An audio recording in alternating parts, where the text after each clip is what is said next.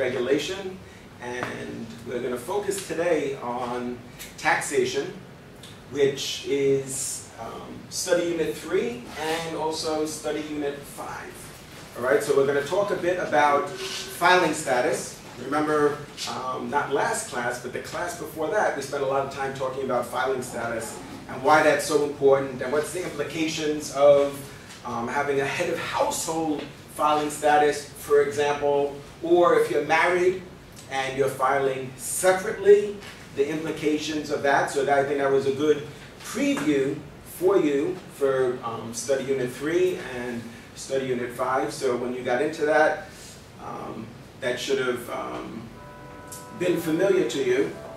So today we're going to expand our discussion and we're going to focus on the individual income tax formula, which is what I've um, put here on the board, which essentially is what?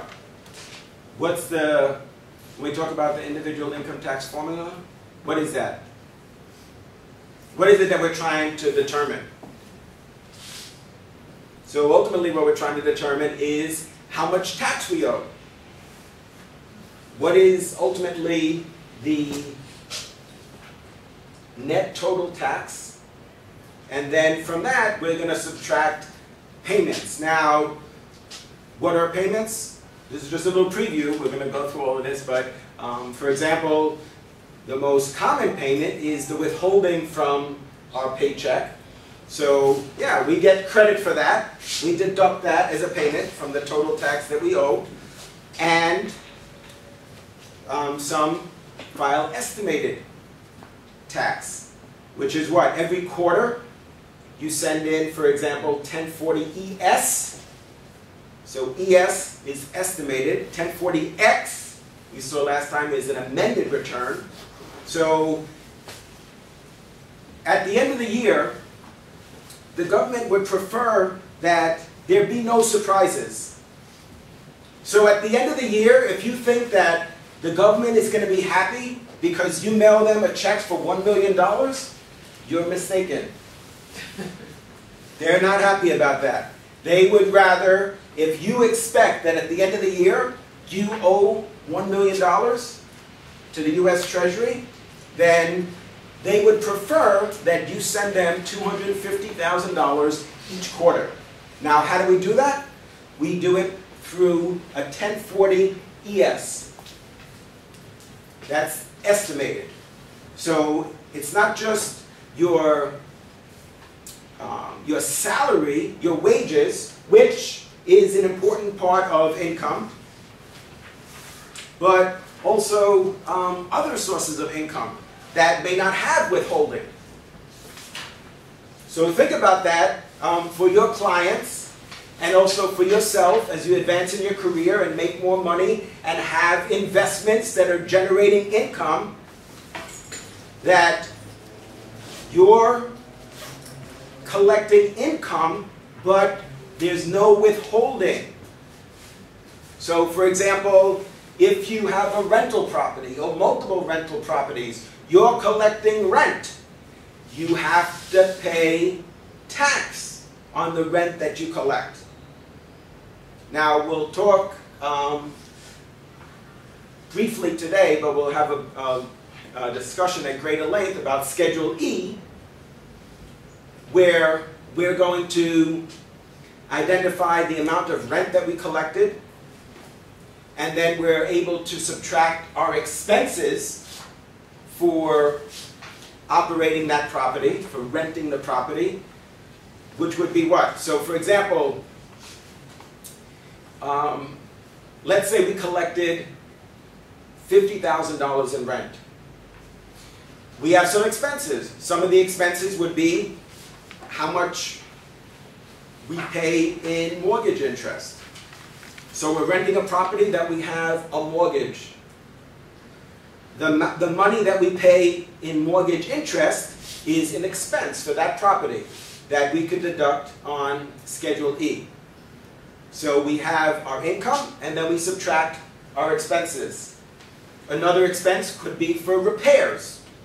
maintenance and repairs. So maintenance, for example, would be if you have um, somebody who's taking care of the lawn. So somebody, you're not there, you have a tenant, somebody is mowing the lawn. Somebody is raking the leaves. Somebody is shoveling the snow. Well, if you pay for that, if you pay to have those services done to maintain the property, then that's an expense. If you do repairs, so let's say, for example, if you have to replace your, um, your furnace, that's an expense for that rental property. If you have to replace your, which by the way, is about $15,000. Unfortunately, I know this, so it is about $15,000 um, for um, an HVAC um, system, so a heating and cooling system. Um, even if it's a split unit, it's going to be about $15,000. Maybe you could get it for a little less, depends on um, the level of equipment that you get and the features. You, if you have to replace the hot water heater, that costs about $1,500. That's an expense for your rental property. If you're paying a um, real estate agent to collect the rent, that's usually about 10%. So if you're um, collecting rent, we said of what, $50,000? Then the property management fees is $5,000. You can um, take that as an expense. So. What about the water bill? The what? Water bill. If you're. Uh, well, if you're paying for it, then utilities that you pay for, um, you could um, take as an expense. Now, um, let's say it's if you're it's a house that you're renting, then so there's a property that you own, it's a house that you own and you're renting, then usually the tenant is going to pay the utilities. So the tenant is going to pay the electric. The tenant is going to pay um, the gas, the water, but if for some reason what you negotiated with the tenant that you will pay the water or you're going to pay some other utility, then that's an expense for you. But you could only take um, as an expense items that you paid. So if the tenant paid gas of, let's say, $4,000 for the year, you can't take that as an expense. Just like we're going to talk in a bit about Schedule A, medical and dental expenses. So if GHI or Blue Cross Blue Shield paid $12,000 as, right, for your, as um, coverage for your hospital stay or um, diagnostic tests, so medical and dental related expenses, then you can't take that as an itemized deduction. Only what you pay. So again, tell me, so for Schedule E, just a little bit of a preview, because we're talking about income. So we said, um, the reason why we're talking about this is because I said, you know, there's payments, but very often the payments are not going to be enough to cover the tax that we owe. So people are always talking about getting a refund. Clients of mine are always asking about how much is their refund. Like they expect to get a refund. You're not supposed to get a refund. You're supposed to pay tax. That's the reason. That's the reason that um, that we have income taxation. So there's a certain amount of withholding, and the reason why that money is withheld is because the expectation is that you owe that money to the U.S. Treasury. So for us, in preparing returns for our clients, and again, for ourselves as our net worth increases and we have rental properties, if for example, that are going to generate income for us, then we need to know what are some of the expenses that we could take. So there's situations where there's no withholding. So for our wages, so when we talk about income, so it's very important for us to understand um, what income is. So on Form 1040, you go um, through lines 7 through 22, all of these things, the IRS makes a point to distinguish between these different types of income.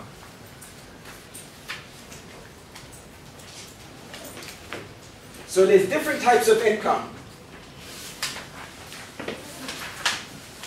And at the end of the year, we might actually have to pay tax above and beyond what was withheld from our wages and salaries. So we're going to see um, that on line 17, this is where we're going to recap Schedule E. That's where we're going to show whether or not this rental property or an S corp has yielded a profit or a loss.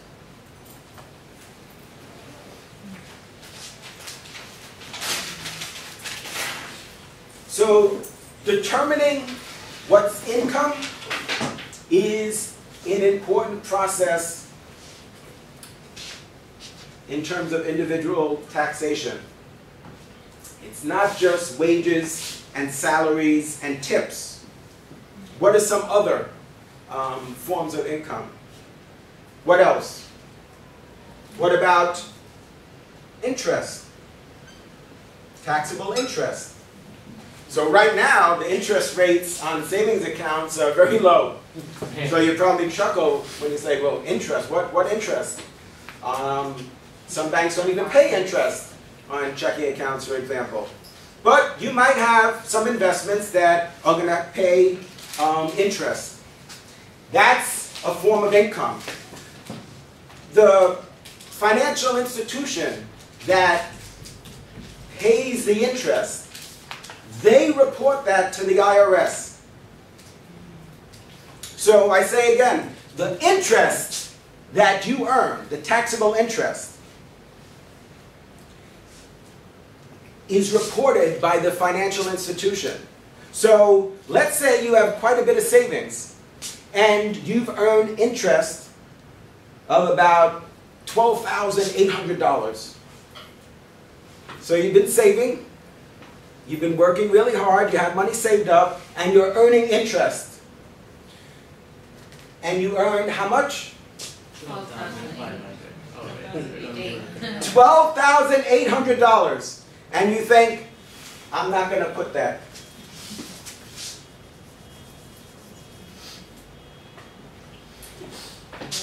Um, you need to include that. That's part of your income If taxable interest is part of your income.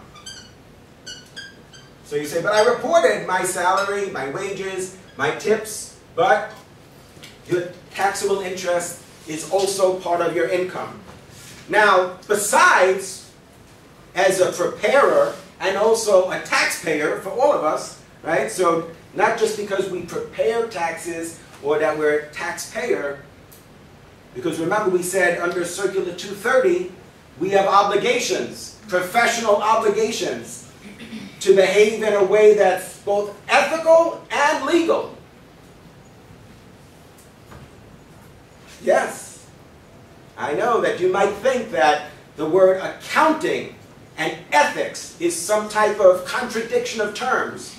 And in some cases, that might be. But we're trying to change that perception. Despite the financial and accounting scandals that we've all observed. So we need to report the taxable interest because the um, Congress has written into the IRS code that interest is a form of income and that we're responsible for paying taxes on that interest. Does that make sense? So we're responsible for paying taxes on that interest and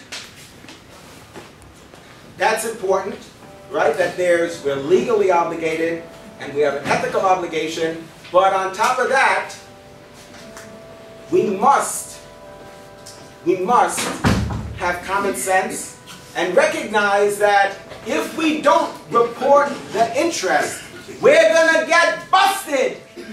They're onto us. The gig is up.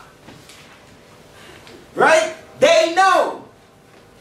The man knows. The IRS knows that you received that interest. The financial institution reports that. Now, if you don't pay, there's going to be penalties and there's going to be interest. Now, historically, when you get that type of letter audit, a letter audit, basically that's what it is. So, $12,800. Don't, I, I wouldn't expect that um, you're going to see um, law enforcement at your door, but you're going to get a letter in the mail about close to three years from the date that the tax was due, and it's going to say that according to our records, according to our records, you received income of $12,800 on monies that you held and earned interest. And they're going to say that with the penalties and the interest that you owe, what, like $19,000. And then you're going to say, why didn't I listen to Coach Bassell? why didn't I listen to him? I didn't listen, and now I owe all this money. And they're very adamant about that. It's not like you could say, oh, okay, I'm sorry, can I just pay the $1,200 now? And they're going to be like, no. Um, first of all, they're going to um, suggest that you committed fraud. Right? You knew that you had this interest that you earned that was part of your income, and you deliberately didn't tell them. So, what is that? That's fraud. So they're like, you're worried about the interest on the money that you owed and the penalties. That's what you're worried about? We're concerned about, we're right now, we're weighing whether or not um, you should spend time in jail. Now, as that amount gets higher and higher, like, oh, you know what, I didn't report $500,000 in interest, they become less and less amused to the point where it's like not even funny. See, if you owe them $500,000, that's a big deal. And again, if you do anticipate owing the U.S. Treasury money at the end of the year, you should file 1040 ES and make the payments on a quarterly basis. So remember, they're not going to be happy when you send them a check at the end of the year for a million dollars. They'd rather you send them $250,000 every quarter. They don't like surprises. Now, sometimes, maybe at, at, the, towards the end of the year, you had some type of windfall. Well, then that's something that you could explain and is obvious. But if you have recurring income, like let's say you know that you have this substantial amount of money that's earning interest, and that you're going to have to pay tax at the end of the year, they want you to make quarterly payments. So then we have what? What else? Dividend? Yes, dividends.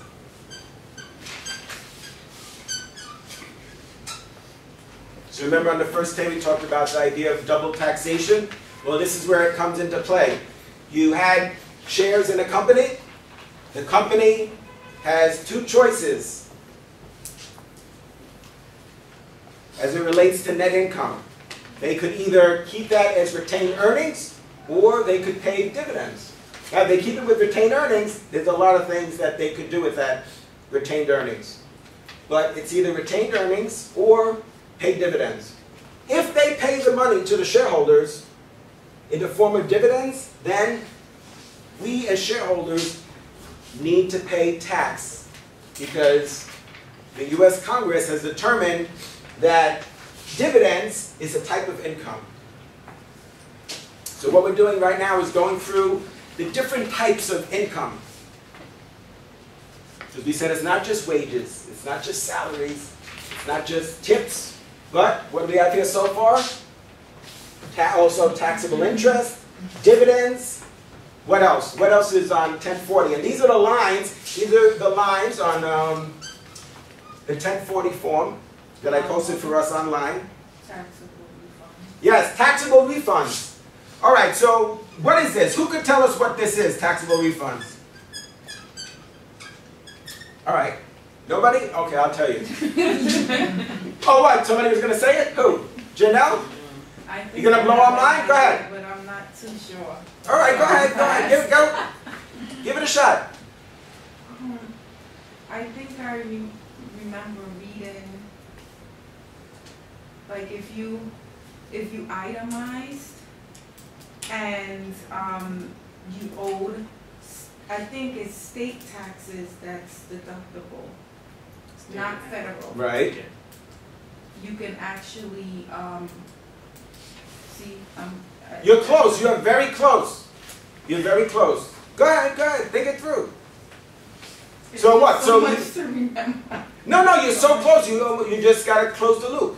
So what about the? You said you're right that um, on Schedule A, which is itemized deductions, that um, one of the sections is taxes that we paid, and so you're right. You can't deduct um, federal taxes, but on the 1040, we could deduct state and local taxes, and then what happens? So we did that, is what you're suggesting, is that we took that as an itemized deduction. Right. And then what happened? It reduced it, Yes? Go ahead. it, uh, well, wait a minute. Okay, so it will reduce AGI. It'll adju- uh, reduce the adjusted gross income. Well, it's gonna, yes, it's gonna reduce the adjusted gross income. Right. So- would it be It's the considered above the line? What was that? Would it be considered an above the line? Well, so why is that um, showing up on line 10 though? So the taxable refund Okay. has to do with the prior year, because what happens is, now we're doing um, 2012 returns. So it reduces the income, the, the gross income? But so, but that we're not we're not um, debating that. The question is why in 2012 do, is this income? So the reason is because what happened was in 2011, Right. In 2011 you took an itemized deduction. And that itemized deduction was for state and local taxes that you paid. But then what happened is, so you put on your federal return that you paid taxes to the state and local government of $7,942. So what does that do? Like you're suggesting, is that it's we're going to subtract that from our adjusted gross income to get our taxable income. Now, what happens in the meantime is that you filed your state tax and that money that you deducted on Schedule A was refunded to you by the state. So the 7,000, how much? Five. 7,005? 519. Nine, Seven. thousand nine hundred forty-two dollars that you took as an itemized deduction on Schedule A on your federal return, because you said, I paid, in our case, New York State, seven thousand nine hundred forty-two dollars, which is really what? Just our withholding. So you didn't lie, that was the withholding presumably, and maybe you had, um, um, some other payments, but let's just assume that that was the withholding. So you did pay it. But there's a part two to that story. You paid it, and then they gave it back to you. In, our, in this situation, we're assuming that um, you were able to reduce your state taxable income enough that you didn't owe New York State any tax. So they gave you back the $7,942. Or, or we could say that they only gave us back $2,942. Whatever they gave us back, in 2012 now, we're going to have to report that as a taxable refund. Why? Because the prior year, we took that as an itemized deduction and used that to reduce our taxable income. After the fact, right, so that was in 2011. So we, everything was we did exactly what we were supposed to do. We told them that in 2011, we um, paid New York State $7,942 in tax. But then in 2012, we have to reconcile and then say, yeah, we did pay that in 2011, but in 2012, they gave it back to us. Or they gave part of it back to us. Whatever it was, if they gave us back 2,000 or they gave us back 3,000 $4,000, $5,012, whatever it is that they gave back to us as a refund on our state return, we have to report that the next year on line 10 of our 2012 return as a taxable refund. Does that make sense? Questions about that? What, if, what about the you pay the tax in 2011? You got the uh, include the, the, the refund and the income, but if you pay on the uh, tax of 2011, we include the, the deduction over there. You mean like in 2010? In tw- 2012, you pay in the 2011 in tax, and what about the 2012? Yeah, You can so deduct that from This this taxable refund, right? That the amount this is where this is income for us. Yeah. This refund is based on what we paid in 2011, right? So now this is our 2012 return. In 2011, we paid this money and then we got it back in 2012, or a part of it in 2012. Now in 2012, we might be in the same situation because we're saying in 2012, right? Now we're in 2013. In 2012, we also paid the state income tax. So we're going to have, it's likely that we're going to have, if we itemize our deductions, we're going to have a deduction here for what we paid New York State in 2012, because we don't know what our refund is yet. We paid it. That was in 2012, now we're in 2013 comparing our 2012 return. There's going to be an amount here, and for the prior year, if we did get a refund, if we did, right, that's what that says. Maybe we didn't. Maybe we paid them $7,942 Yes. and that's what we owed. We didn't get a refund. Then that's fine. Then we don't need to report that here. This is just we're reporting as income what we received as a refund, in this case from New York State. Now, if you don't itemize your deductions, then that's not an issue. But if you do, if you itemize your deductions, so we want to take the greater of the two. The greater of the standard deduction or the itemized deductions. Do you agree? Yes. So, if you have, um, well, well, let's get to, we'll get to Schedule A. We'll go, we'll go through the items in, um, in Schedule A. So, questions about that? Taxable refunds? No questions? Are we good? Elam? No question. No questions? Okay. You sure? If, if, if you're not clear, we could, we could talk Um, about it some more. question. Yeah, Um, go ahead, so Mohammed. Um, you know when you file the, the, the tax return, right? And sometimes you get the refund, uh, oral, is that, would that be considered tax refund If you get the refund, from, um, the state and federal, uh, when you file your ten forty and you get return? It's possible sometimes you get the refund. Would that be considered tax refund, or this is something else? if, the reason why, it has, it doesn't, it's not because you received a federal refund. If you received a federal refund, which is down here, right, with, uh, preparing Form ten forty, Right. That's it. We paid what we owe. In fact, in this case, if we got a refund, that means we paid the U.S. Treasury more than what we owed. However, if we itemize our deductions, one of the deductions that we could take is for taxes that we paid. And in many cases, state tax is, state and local tax is a significant um, expense to us as taxpayers. So, especially in New York. Mm-hmm. Right? So, the federal government says, yeah, we understand. We understand how this, how we're organized as a government. We have a federal government, we have state government, and part of the process of funding state activities is that we allow states to collect income tax. And they said, we're going to allow you to take that as a federal deduction. So remember, everything about the IRS code is written by Congress, and there's certain incentives, there's certain motivations, there's a certain rationale for every aspect of the tax code. It could be um, some type of political statement, or some type of endorsement of some kind.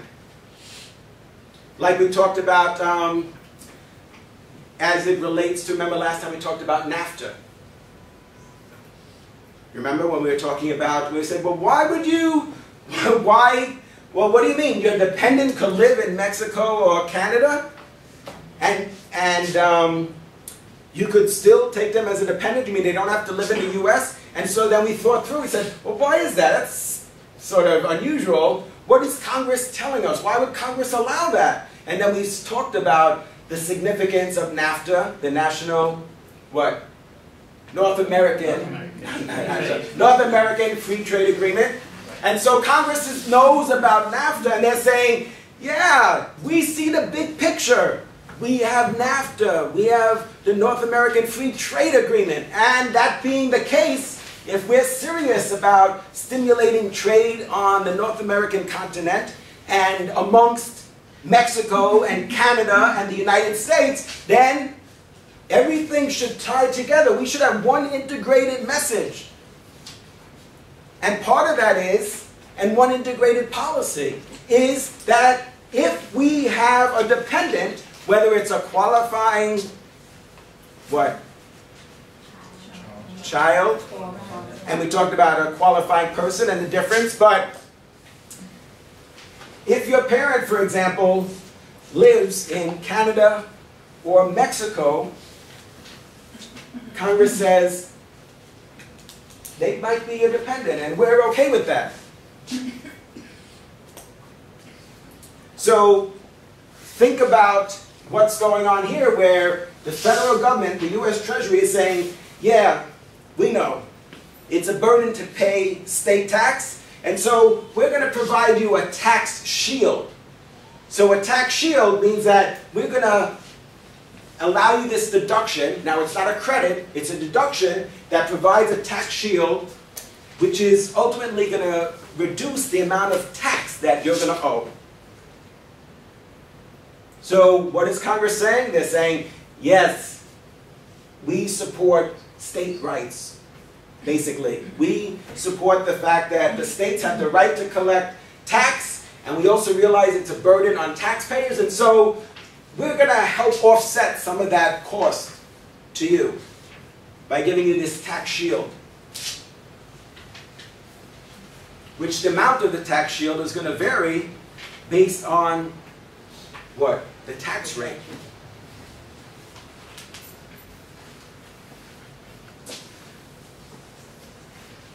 So that's why if we got a refund from the state, even if it wasn't the full amount, if it's a partial amount, then in the year that follows, we're going to have to report that as income. And then again, we might be in the same situation. But we're always like one year behind because at the time that we prepare our return, the best that we could um, report is what we paid, which is the truth. That's what we paid. The fact that they gave it back to us in the next year is what we're reconciling here on line 10. So remember, we're in 2013, we're preparing our return for 2012. What do we tell the IRS in, when we file our return in 2013? Is yeah, you're right. In 2011, I had paid New York State this money, and then in 2012, they gave it back to me. Because, and you see why that is, because this reduced our taxable income. So we paid less tax in 2011 than we should have. So they said, well, this year, you're gonna, you're gonna have to pay more. So if they gave you back the money, then now you have to report it as income in 2012.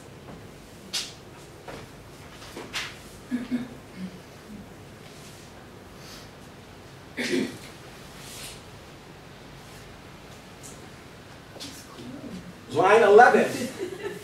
Line 11 is alimony. So remember, all these items that we're looking at are forms of income, items that um, Congress has determined as income. Line 12 is business income or loss.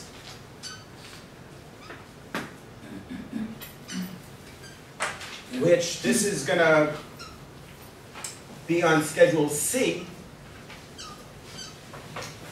All right, so that's line 12. Then we have Schedule D, which is capital gains. Capital gains and losses. So on Schedule D, that's where we're going to do the computation. So on Schedule D, we're going to have to indicate the date that we bought the securities, so the date that we bought the stock, how much we paid for it, the date that we sold it, and how much we sold it for. And then with that information, then we could determine whether or not we actually had a gain or we had a loss. Now, historically, the information that the brokerage firm that uh, would report to the IRS is the amount of proceeds, but not the basis. So the cost basis is what we paid. What we paid for the stock, for example. Now the IRS um, is requiring that the brokerage firm, for example, disclose not just the amount of the total proceeds, so in other words, the total proceeds being what you sold the stock for, right? What you sold one share of stock for and how many shares that, um, that you sold. So let's say you sold the stock for $52. And you sold a thousand shares. So that's $52,000. And then you have a brokerage fee. So they would report the $52,000 minus the brokerage fee. But now, what they didn't report is the basis, the cost basis. So they know that you receive something less than $52,000, but they want to know, well, what did you buy that stock for? So you sold it for $52,000. Maybe you bought it for $22,000. Maybe you bought it at $22 a share and sold it for $52 a share. So from the proceeds, you subtract the cost, which in that case means that you had a gain of how much? Thirty dollars. About thirty thousand dollars, right? So about thirty thousand dollars. Um, we need to pay tax on that, right? So that's on Schedule D. We're gonna go through those computations. Now, we might have had some other shares that we sold that we lost twenty thousand dollars.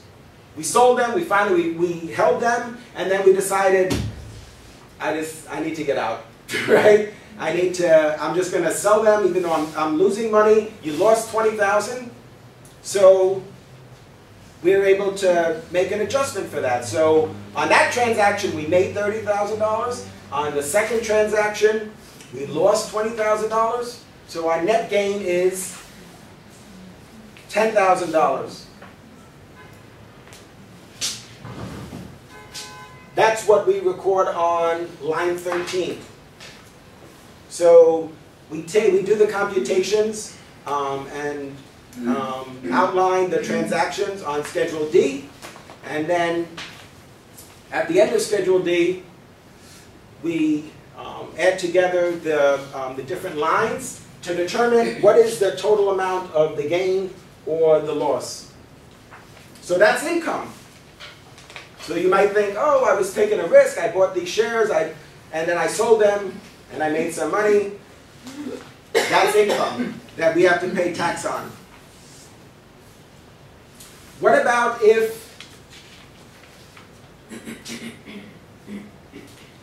we have, um, besides those transactions, we have some other gains and losses?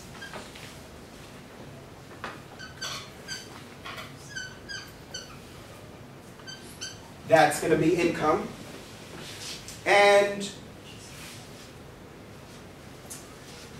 let's say, do you remember all the time we're talking about,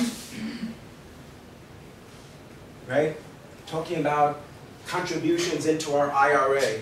What line 15 says is that, well, all those years that you were making adjustments, you were making adjustments to your gross income by subtracting, right? That's what this is. These are all minus signs. So from our gross income, from our gross income, we have these adjustments. And so we have those IRA, we make those IRA adjustments, but line 15 says, well, what about if there was an IRA distribution? Now, this is analogous to our discussion about um, state and federal tax refunds. Do you see that? Why? What's going on here? This is income. So, if you have an IRA distribution, that means you withdrew $10,000 from your IRA. Why would you need to report that as income? You say, what do you mean? That's, coach, that's my money. Don't mess with my money, coach. Homie, don't play that. Why would you now have to? I don't understand. I took $10,000 out of my IRA. That's my money. I'm not bothering nobody. Why would I have to report that as income? Why would we need to report that $10,000 as income? What do you think? It's not an It wasn't taxed to Yeah, we never paid tax on that money. So, all those years, we were taking adjustments on our gross income. Every year, we're taking that IRA adjustment.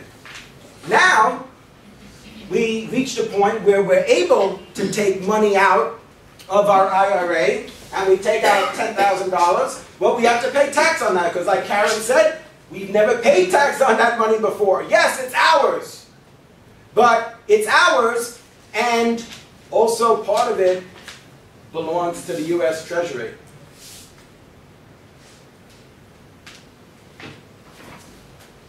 Oh, so there's, you know what the, do you know, that, you know, we always talk about the IRS. You ever hear that? We always say the IRS, the IRS. The IRS. You know why we always talk about the IRS? Watch, I'm gonna show you right now. Watch, watch, here we go. This is the IRS. What does that say? Yes. Theirs. There's ours and there's theirs. Theirs. So, theirs. Theirs. They said, we don't, you don't need to give us everything, but that's income. Right, Karen? We never paid income tax on, um, on that money. It was an adjustment to our gross income, so we just took it, we put it in our IRA, and the, and the Congress says, we're fine with that, that's okay, we want you to do that. So again, the reason why we're able to do this is because Congress has a policy. They have a public policy about encouraging savings and saving for retirement. So how do you get people to do that? You have to provide some incentive. So the incentive is, we will let you put money in the IRA and you'll not pay tax on it now. And it'll be, so it'll be an adjustment on your gross income. But when you take money out, you're gonna have to pay tax on that distribution. Is that reasonable?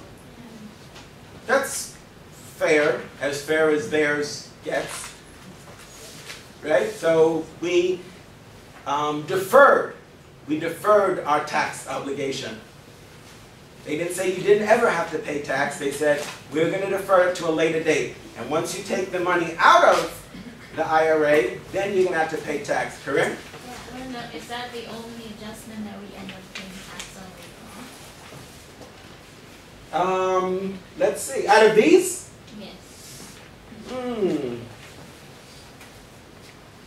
Well, this is not all of them, but let's see. Let me look at the, at the full list and see if there's any others there.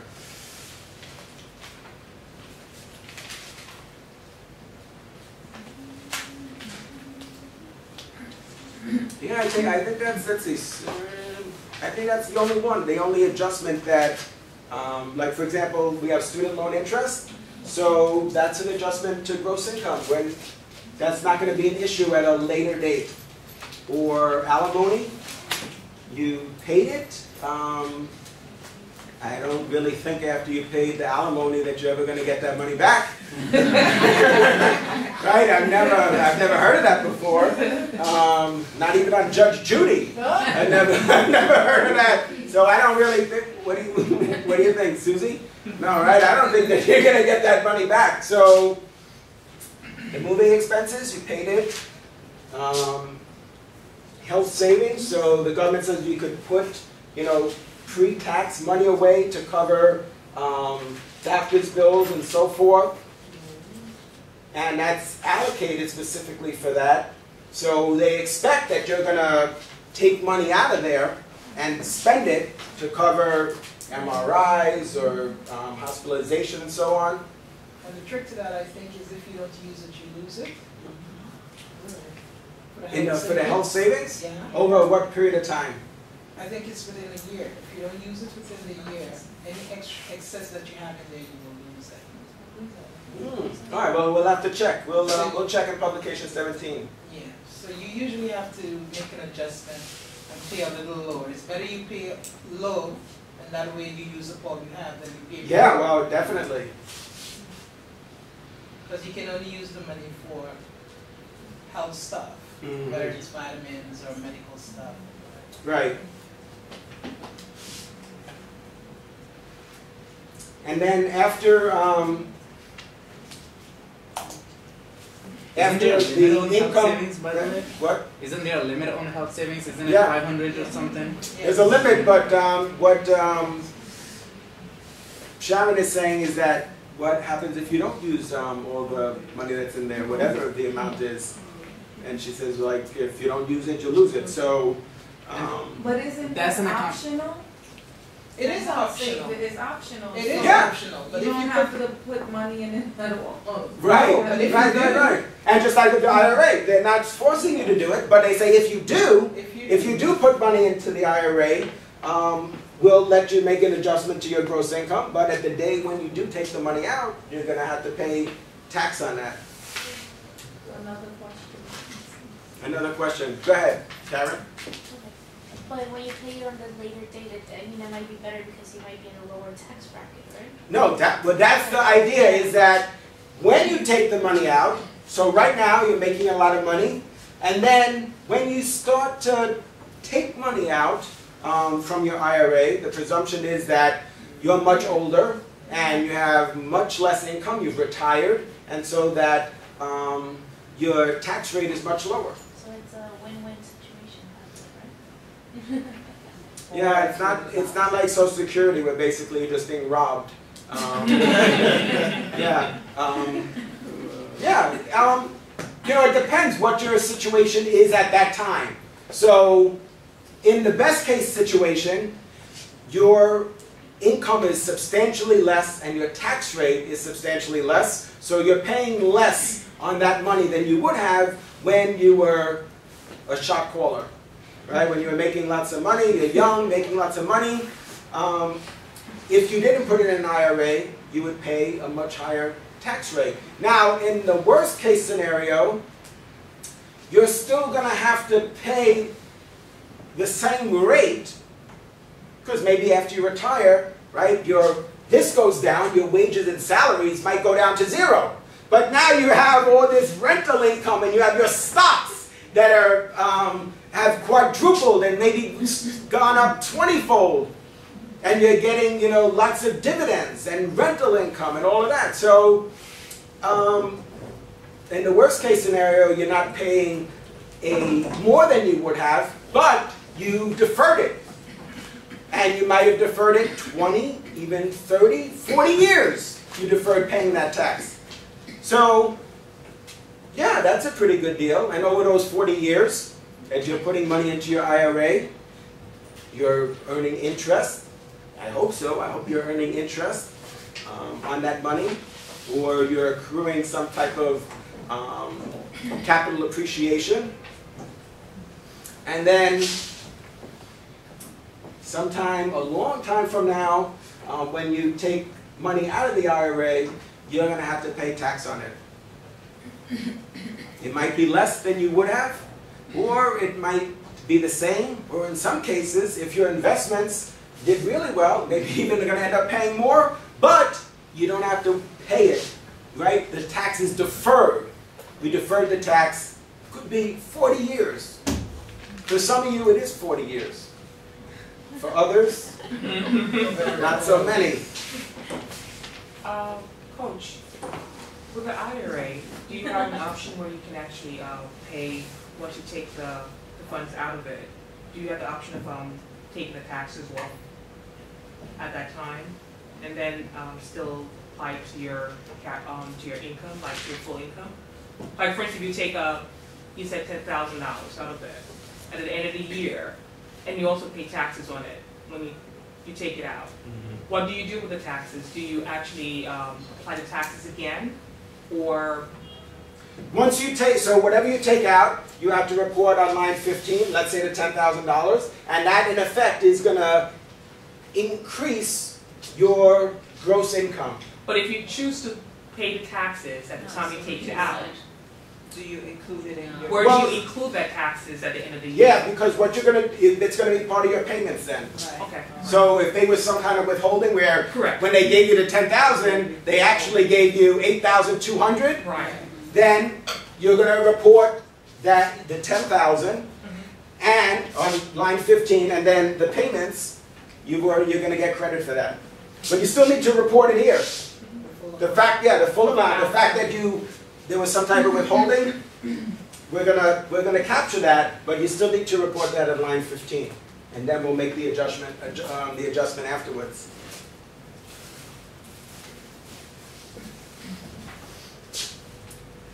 And then we have pensions. Yeah, so you work for a company, they say we'll give you a pension. Well, when you start receiving the pension, the IRS says, well, that's income. That's income. Just like all these other things are income, just like your wages and salaries and your interest and your dividends, all of those things are income. If you receive a pension, you have to pay tax on that. Now, Schedule E is one of the main things that we'll record on Schedule E is rental income and also um, subchapter S income. Because remember, an S corp is what? How do we define an S corp? What type of entity is that? As a corporation, but. But there's a term there's um, that describes the nature of that entity. It's known as a flow through, right? So an S corp is a flow through. So the um, the corporation prepares a K1. That's the form where they list all the shareholders, so their names and their social security numbers, and how much was distributed to them. That's filed with the IRS. So the corporation itself doesn't pay any tax. That's what we said. Remember on the first day we said, that's the beauty of having an S corp. There's no double taxation. It's just a flow-through entity. The S corp is not going to pay tax. The profits are going to flow through to the shareholders. The shareholders are going to pay the tax. Whereas um, with a C corp, Remember we said, right, Alicia? The corporation is going to pay tax. They have a certain amount of net income. Remember we said we could either keep that as retained earnings or pay it as dividends. And they decide that um, after they pay the tax, what's left after the tax, right, they're going to give as dividends. So they've paid money. They've already paid the tax on that money. And then what's left, they pay to they pay a portion of that as dividends to the shareholders. But then when the shareholders receive the money, then they have to pay tax. That's us. That's the double taxation part. Is it crazy? It's yeah, it's a little crazy, but this is um, the norm. This is absolutely the norm. This is the way it's been for decades. General Motors, double taxation. Merck Pharmaceuticals, double taxation. Any of these companies, big companies that you could name, there's double taxation. The corporation pays tax on their income. And then a certain amount of that they distribute to the shareholders as dividends. When the dividends are received by the shareholders, they also have to pay tax on the same money. Remember we talked about that on the first day? It's not different money, it's the same pile of money. Remember we said, what did we say? It was like a hundred, a hundred million dollars? So it was a hundred million dollars. That was um, the income for the company. And then what? They paid tax. So they paid what? $40 million in tax. They were left with 60 million. Part of that they keep as retained earnings, and part of it they pay the dividends. Even if they paid the whole 60 million as dividends, let's say they did. Then, when we receive it, when the shareholders receive that $60 million, they're going to have to pay tax. So, the rub is, the double taxation is that this is, the 60 million is part of that same 100 million. We paid the tax. Here it is, we paid the tax, this is what's left. Now they say, well, if you keep it as retained earnings, that's fine. If now, the money that you've already paid tax on, you give it to the shareholders, when they receive it, it's income to them, and they have to pay tax. And you're saying, you have got to be kidding. I'm not. I'm not. So if you're uh, um, if you're incorporated and you have um, a hundred or less shareholders, you could um, elect with the IRS to be considered an S corporation. It has nothing to do with the Department of State, whether or not, you know, when you file to be incorporated, that's something else. You're still a corporation. This has to do with how your income is treated. The IRS deals with that issue.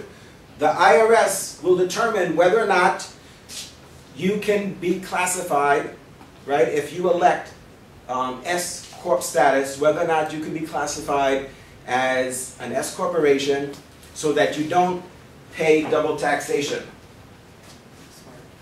So that's reasonable. They said, Is that realistic though?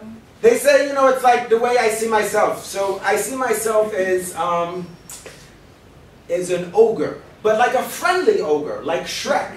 You see, that's the way the IRS is too. They're like, I know, where you see us, you think that we're an ogre, you think that we're mean, but we understand. If it's a small corporation, we understand why you incorporate. And by the way, we encourage you to incorporate, because to incorporate um, is really very inexpensive.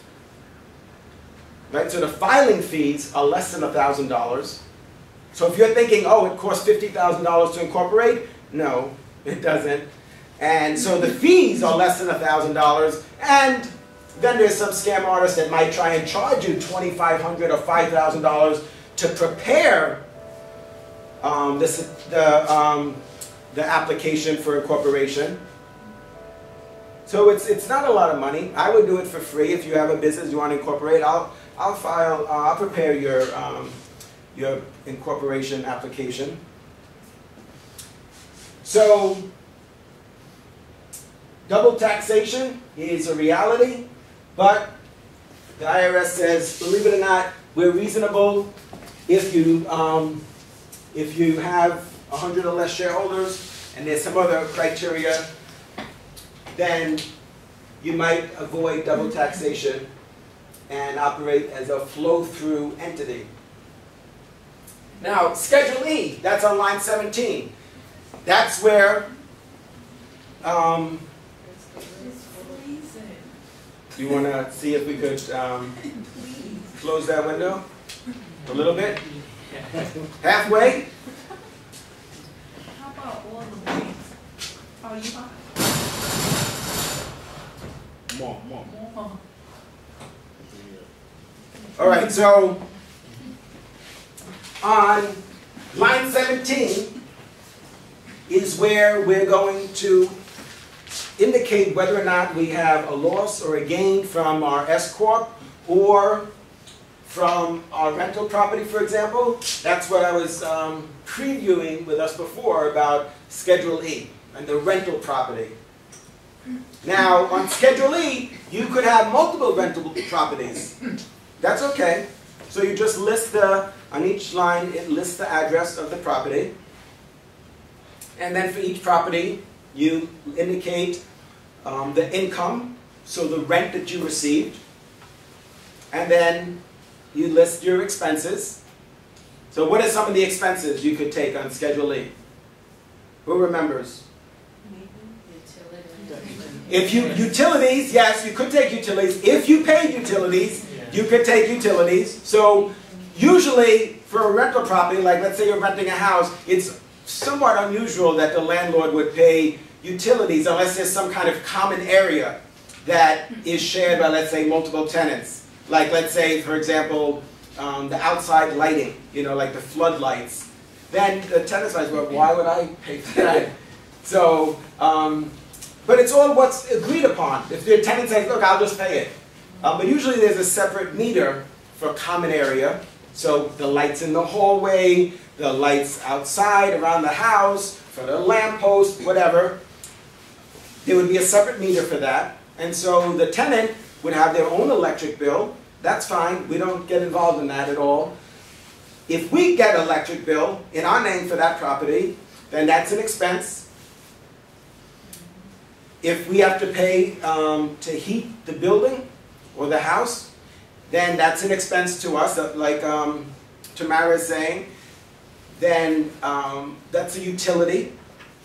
If the tenant pays for the heat, then we can't take that as an expense. I know you want to, but we can't take that. Only expenses that we incurred and paid. Now, is that sound funny? Because if somebody else, if Corinne pays my gas bill, then I can't take that.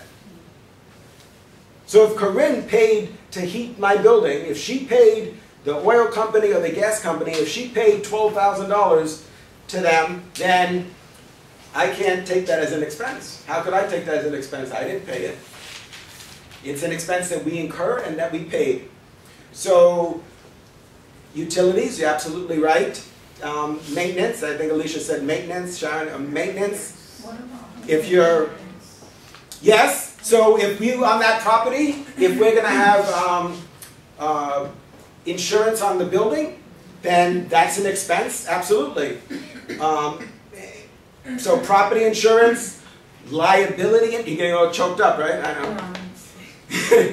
So, um, property insurance, liability insurance. So we have liability insurance in case somebody um, falls on their shoelaces.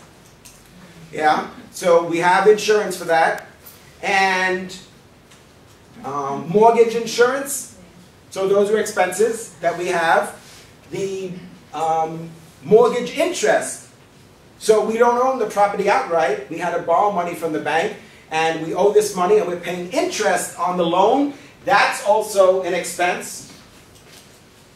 What else? What is the other interest is on it? I think there's a line that says other interest. Okay, let's finish this. I love that as you try to like redirect the conversation. But we're gonna we're gonna come back to it in a second. Just let's finish this because this is free advice. Yeah.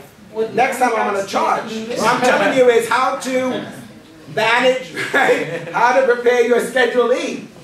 All right. So repairs, Yeah. What about land tax? Would that be included as an expense if you're paying the land? tax? absolutely. So the property tax. So if you're paying um, property tax on on that building that you're renting, absolutely, that's an expense. And depending on where you are and the size of the property, it could be extremely substantial. How do you like that? Extremely substantial. So it could be anywhere from like twelve hundred dollars, which believe it or not is not a lot for property tax. Um, even in Brooklyn, it's not twelve hundred dollars anymore.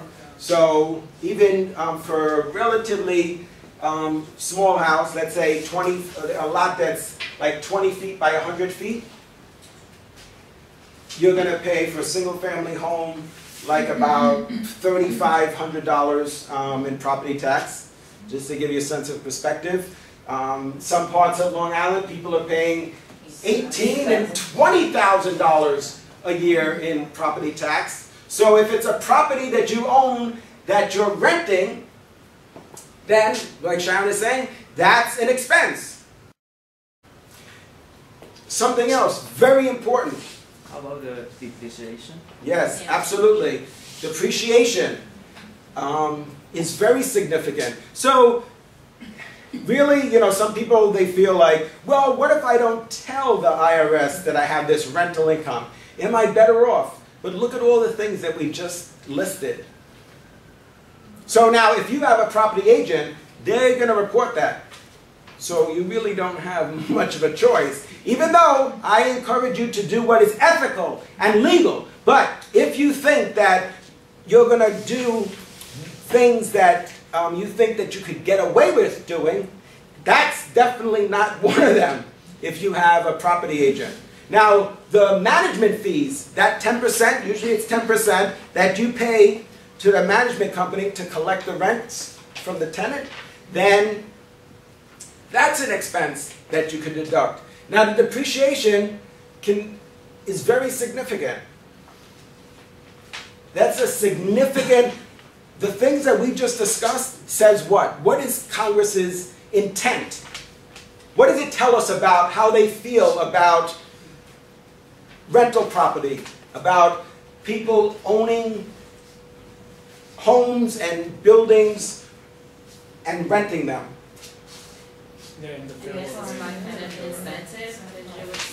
Yeah, they, there, there's definitely incentives. They view that, the Congress views that as favorable, and based on all the things that we just listed as offsets on the income, which is the rent, we could conclude that Congress is in favor of people renting properties. The depreciation is very significant. How you calculate the depreciation? So, uh, what you have to do is take the fair market value of the property, and then the IRS, um, there's, you divide it by, um, the number of years, which I believe is 27 and a half years. Is it 27 and a half years? And then that's going to be the annual depreciation. So let's say the value of the house is um, $275,000. That means you could deduct $10,000 um, a year in depreciation. So it's very substantial. You might be wondering, how could you make money renting properties? And that's exactly the point. It's not so easy to make money renting properties. So this might actually be a negative number. We might actually have a loss. So great, great. We had a property, um, multiple properties that we report on Schedule E that generated $500,000 in income. That's great. And even the IRS is like, right? But then what? Then you find out that your expenses are $650,000. So we're thinking, we're hoping for the long term that we're going to have this, you know, maybe capital appreciation in the property. We're thinking by the time we're ready to retire, we'll actually be making money. We'll just be, right, we're just collecting rent and um, we'll have, our expenses will be much lower, um, hopefully. Or maybe we'll just, we'll sell the property in 10 years or, or 20 years. Um, what if you pay for the property taxes and the mortgage, but it's not under your name? Let's say your family relative owns the house. Um, would that be deductible or? Well, I wouldn't do it the way that you described it because it's not only that you have that you pay um, the like in this case the property tax or the mortgage interest, um, which in most cases the mortgage payment is really most of it is interest anyway in the early parts of the of the mortgage. Even after the first 10 years, you're still most of it is interest, but um, when you get the 1098, it'll tell you exactly how much you paid in mortgage interest. The thing is that is there an insurable interest? Is um, one of the things that you have to look at. So, like for example, you might say you want to get insurance on that property, right? Because you feel like you're paying the property tax, but you don't have an insurable interest. So the question is, from the IRS's perspective, do you have an obligation to pay? So are you responsible for paying? So you paid it. Everybody's trying to figure out, um, understand the nature of that agreement. But did you have an obligation to pay? So it's the same type of thing like with Corinne, like that's, I think where you were going with that, right? Where, um, yeah, Corinne paid, you know, and I appreciate that. God bless you. Um, but I can't take that as a deduction, so now you're saying, well, what about Corinne? Could Corinne take that as a deduction? Well, so how would Corinne be able to take that as a deduction if she didn't have an obligation to pay? You see, so you paid, so you have to have both an obligation to pay and you paid. Both, both criteria have got to be met. And we're going to talk, um, when we talk a little bit, a couple of more items about, what do we got, three more hours? We're going to talk about, will be it will be the same thing uh, about other property like let's say a car um, family owns a car and it gets into a accident or something or you repair on that car you pay for it. You use the car and you pay for the repair can you deduct those monies? If it's well, for a car, why would you, uh, what, what, what part of the code, the tax code says that you could deduct repairs for your car? Uh, isn't it uh, like you use that car for your job or for, for your job or for your business Okay? but it's not under your it's not registered under your name even though it's your car Now, you see, now you know why Judge Judy has such a, such a strong following. See, I don't. Why would you do that? Why seriously, why would you do that?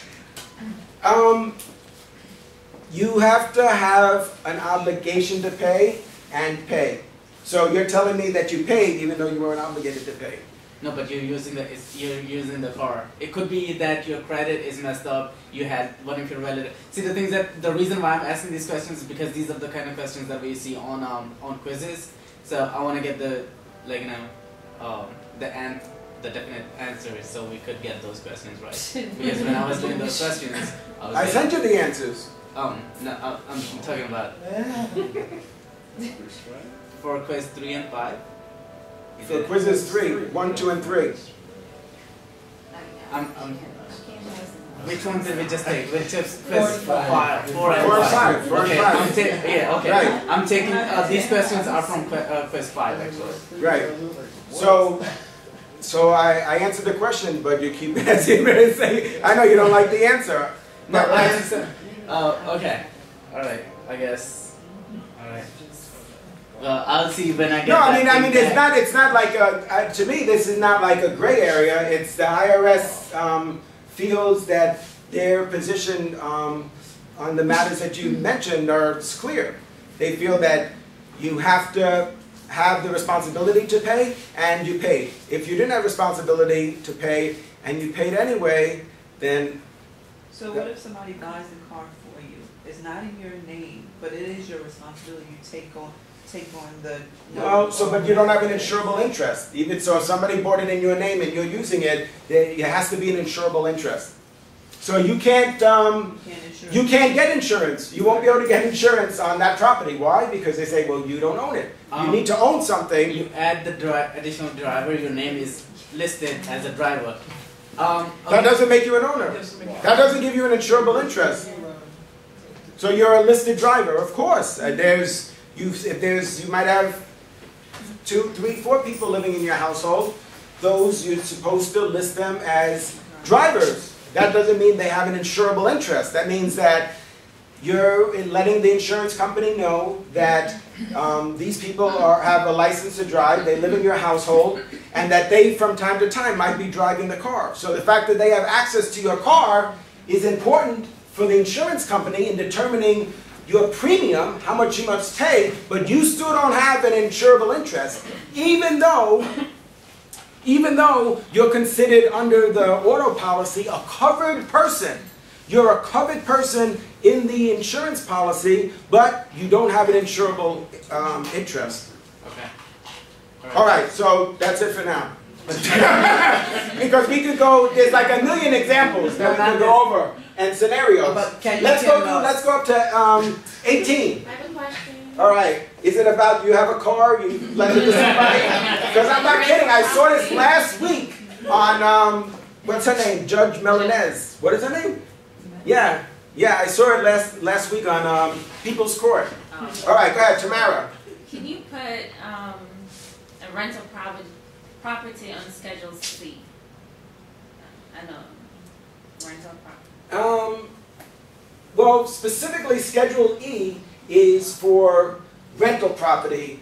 Right. Other than um, rental property, other businesses that you have, you would report on Schedule C. Right. So for rental property, you should put that on Schedule E, not Schedule C. If you have other businesses, you have um, uh, a hair salon. Or um, some other type of business, then that's going to be on Schedule E. But for rental, see, remember, we talked about what is Congress thinking and their view about S corps and um, rental properties. Yeah, that's got to be on Schedule E. They want to capture that separately. So, You mean other businesses have to be on Schedule C? Right for us, right. So if it's a if it's a sole proprietorship, other business income that that we have. Now, remember, we talked about, um, we said, well, you know, in terms of forms, 1040. We said also for partnerships is 1065. For corporations is 1120. Right? So that's don't, let's, let's, remember, here we're just talking about individual, personal income tax. Now, a corporation, they still, this is for a C corp, this is for a partnership, they need to file, um, they need to file, um, tax returns.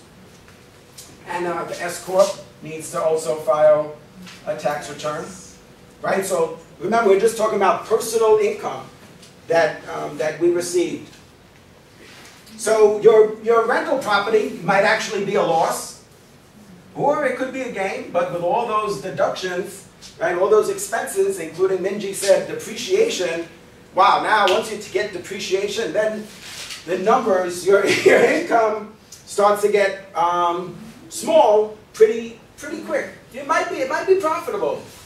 You know, if you don't have a lot of expenses in terms of um, maintenance and repairs and the um, maybe your mortgage interest, maybe you've already, you know, you're paying down your mortgage, then maybe the, um, the, pro the property could be profitable. Uh, Professor?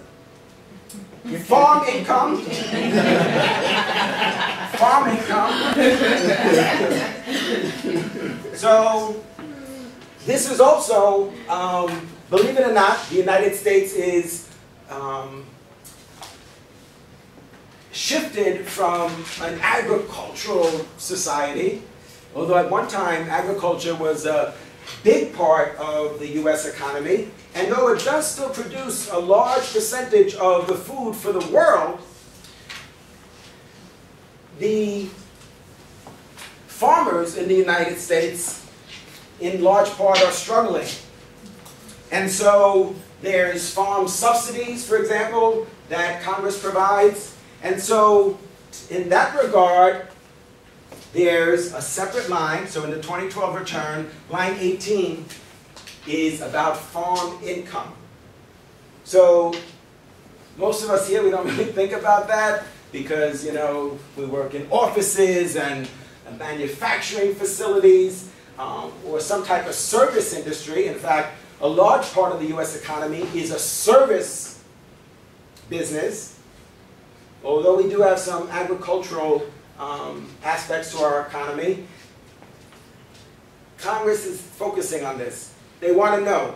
So farm income, whether it's a gain or a loss, we're going to report that on a separate line. So again, that tells us if there's a separate line for that, then that's of special interest. But all the things that we're going through here is income, different types of income. Congress has gone through a lot of trouble to identify different types of income, and each of these has its own line. Now, unemployment.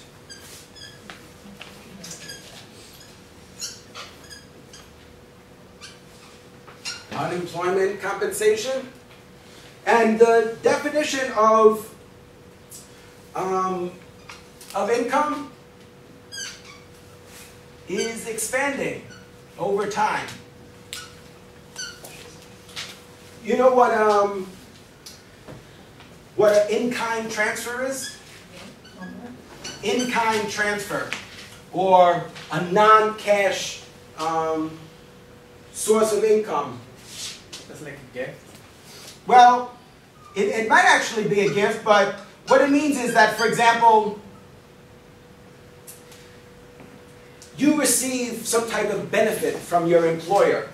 So we have here line 19 is unemployment, 20 is social security benefits, 21 is other income, and line 22 is total income, right? So that's gross. That's our gross income. So you might be wondering, oh wait a minute, Social Security, why do I have to pay tax on Social Security? Because then we go back and say, oh, here we go again. That's my money. Why am I paying tax?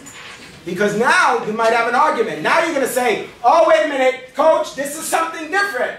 That money I paid into the IRA, that was pre-tax. I got an adjustment for that, right? My gross income was adjusted for that IRA. I never paid tax on that money. But the money that I paid into Social Security, That was after tax. So why would I have to pay tax on that? Double tax. Um, maybe it could be a type of double tax, but what, what do you think? Why is it? Because there are some some people who didn't really work.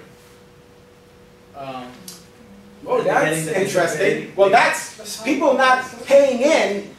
Well, so, well, a separate issue, just an editorial comment, okay, about Social Security that Mohammed is alluding to is that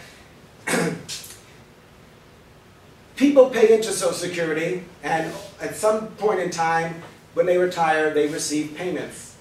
Mohammed is saying that some people don't pay into Social Security and they still receive payments. That's a little weird to me. No, what I'm saying is that what if they didn't work so that they just worked for five years and after that they just didn't work and they uh, um, started receiving their social security. So maybe it's just that uh, they didn't work enough to pay tax enough taxes. So maybe they just wanna take out taxes. Um, well, that's what you described does happen, but the reason why um, Congress um, has decided, and they thought about this for quite a long time, because this wasn't always the case. The reason why they decided they would tax Social Security benefits is because they said, you know, you don't realize this, but we do. The amount of money that you pay into Social Security, FICA, right, that you pay into Social Security, your employer matches that. But at the end of the year, you don't put that as part of your wages, salaries, and tips. Now, um, that's thousands of dollars, right? Depending on, it's a percentage of your income, so, you know, it could be um, a couple of thousand dollars, it might be six thousand dollars. So, let's say, for example, our income is such that we pay in FICA, we pay in towards Social Security $6,000. Our employer also pays in $6,000. So the government receives $12,000. So um, Congress said, well, you never paid the, someday that $6,000 that your employer paid on your behalf, you're going to get that. And you never paid tax on that. Can you believe it? Can you believe it?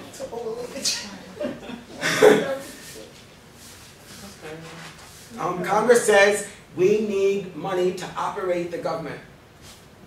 So you want to um, you want to have the government provide these different services and benefits, um, sustain a military, etc., etc., etc. Then we need money.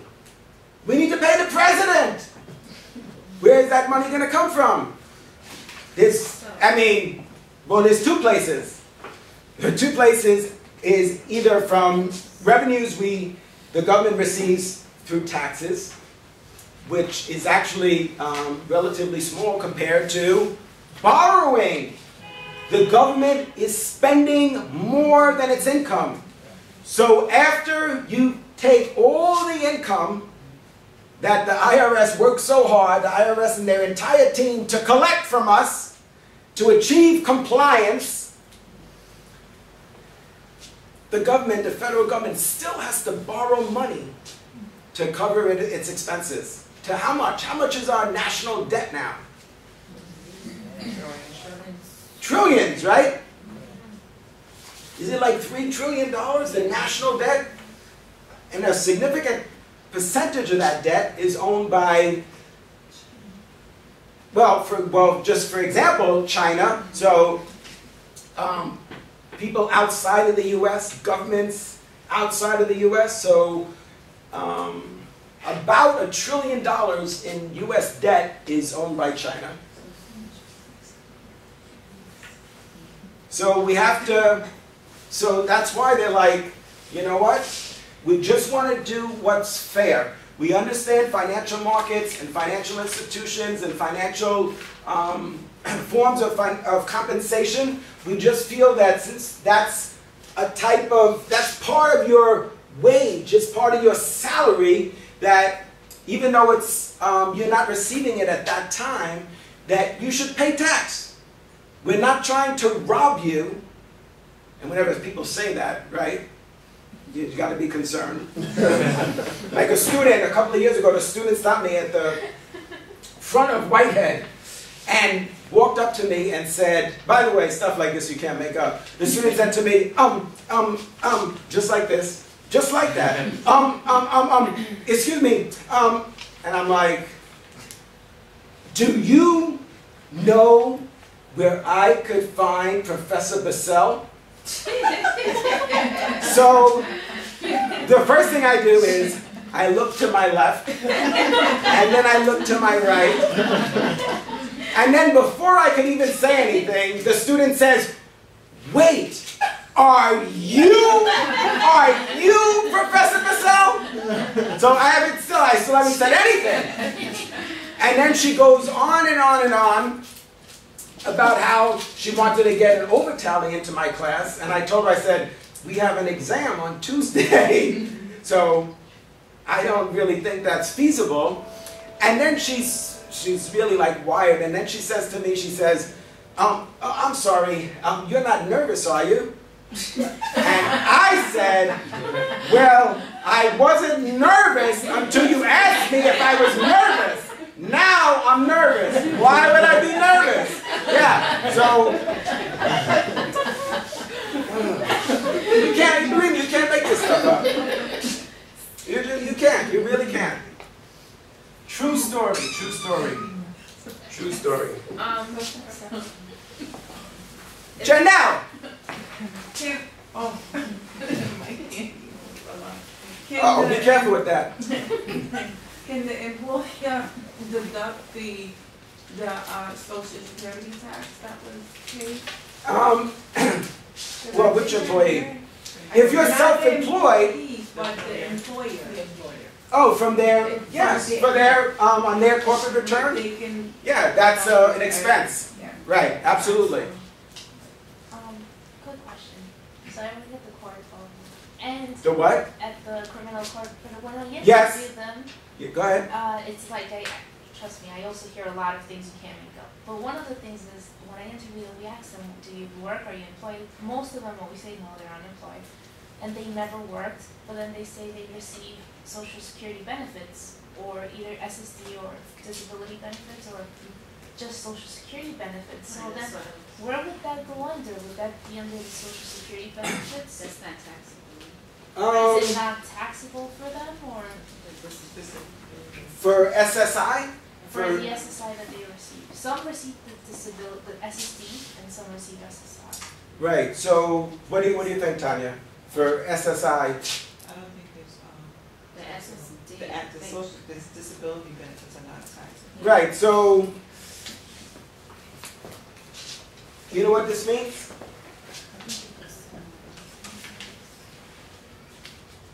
Does anybody know what this means?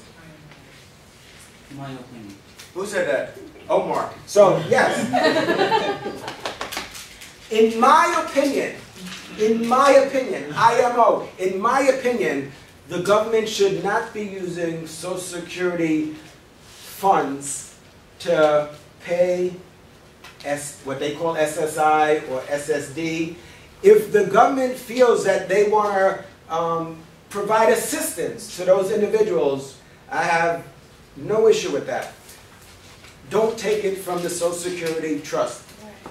That's, people paid into that. That's not um, public assistance. Okay, um, it's okay that the government provides public assistance for people that are in need. I think that's a great idea. But this is not public assistance. This is, I paid in. Now, over the course of your lifetime, you're going to see you paid in hundreds of thousands of dollars. Now, fortunately, it's capped, right? the amount of FICA. So, don't worry. If you're making five million or um, five hundred thousand, the amount of FICA that you pay is the same. So each year, um, the limit goes up a little bit. You know, it's like 121,000. It's like 123,000. Like, so there is a cap. So roughly, um, the cap now is roughly, all right, don't hold me to this, this is, um, just a, some quick number crunching here, about $7,500. Six, Yeah, about, about $7,500 is the cap, which is just based on a percentage of your income. So it might be, you might only pay $6,200, but the cap is about $7,500. They usually don't talk about it in that terms. They talk about it as a percentage of a figure that they set, that they adjust every year. And that equates to some number, $7,216, etc. So, fortunately, there's some sanity to, the, to this situation. Otherwise, I mean, it would be ridiculous. Imagine you were making a million dollars a year, which soon all of you will be, and they were literally taking six and a quarter percent of your salary and putting it into the Social Security Trust Fund, which we might need to do at some point. Because, why? Because they keep robbing the Social Security Trust Fund. We paid in. The employer matched that. They have billions and billions of dollars. You're paying to people that, like Muhammad also addressed and Kevin is mentioning, that never paid in. Now, if you want to, again, if you want to, if the government wants to give them assistance, fine, but you should take that from the general fund, not from this trust, not from the Social Security Trust Fund. Because by the time we retire, Right, because like you're saying, there's people who never worked, or maybe they worked one year and then they're getting benefits. So that's not, how is, how is that fair? Right, how's that? Now, if the government says, but I know, but this person is in need, okay. So if you determine a certain amount that you feel is appropriate, that's fine, but don't take it out of this basically annuity, this insurance, right? We're paying into to, um, to an annuity. Right. So to go back, I'm not sure we didn't really close on Karen's question. So if you're receiving um, this money, like just like if you're receiving other types of um, public assistance, that's not going to be taxable. Yeah. Right. It's terrible. Well, because that, that's another thing that really gets to me when I interview some, well, most, most of these people, um, that I interview. some These are criminal cases? Criminal, Mhm. criminal court. Uh, Mhm. like, most of them, they're, uh, they're receiving SSI, most of them haven't worked, and they're like, oh, because I have a bullet in my arm, I have a bullet in my leg, I have a bullet here and there. And I'm thinking, oh my god, maybe you have a bullet because, you know, you're putting bullets in other people as well, you know, and it's, it's like, it's crazy. Like, it's just. Right, so, yeah, there should be more of a disincentive. Right. So it's like, if you get, if you're committing a crime and a police officer shoots you, you could collect SSD. Yeah, Like, really? Like, yeah. that's crazy. No, I, I understand, I, I share your frustration. Yeah. Life. All right, so we got two more hours. So these are all income. So we add all these up, and that gives us our gross income, our total income. Right? We're good. All of these we're going to do. This is going to capture Schedule C, line 13, Schedule D. Um, right for 2012, line 17 is going to capture Schedule E, right for the rental income. So that's where we're going to attach the schedule. But the last line on the schedule is what we put here. So after all is said and done, after listing out all our expenses, we find out what we do. We subtract from our income, our expenses, then we find out did we make money or not? Did we have a gain or a loss? That number we report here. The same with Schedule D, we report there. All of these items Congress has determined are income and should be taxed. So we add all of them up and we get our total income, which we could also refer to as our gross income. Our gross income, why? Because from that number, we're going to make some adjustments. Yes, this is a minus sign. These are most of them. Some of them we talked about, of important interest um, to many of you is also student loan interest, which is subject to um, a certain level of income. And when, after we make those adjustments from the gross income, we get what? Our adjusted gross income. our adjusted gross income. That's not in my opinion. It is. It's not IMO. It's when we subtract the adjustments from our gross income, we get our adjusted gross income. So we have our income. We subtract from our gross income the adjustments, which gives us, which leaves us with our adjusted gross income. Then we need to decide whether or not we're going to use a standard deduction or an itemized deduction. Now remember, last time we also talked about filing status.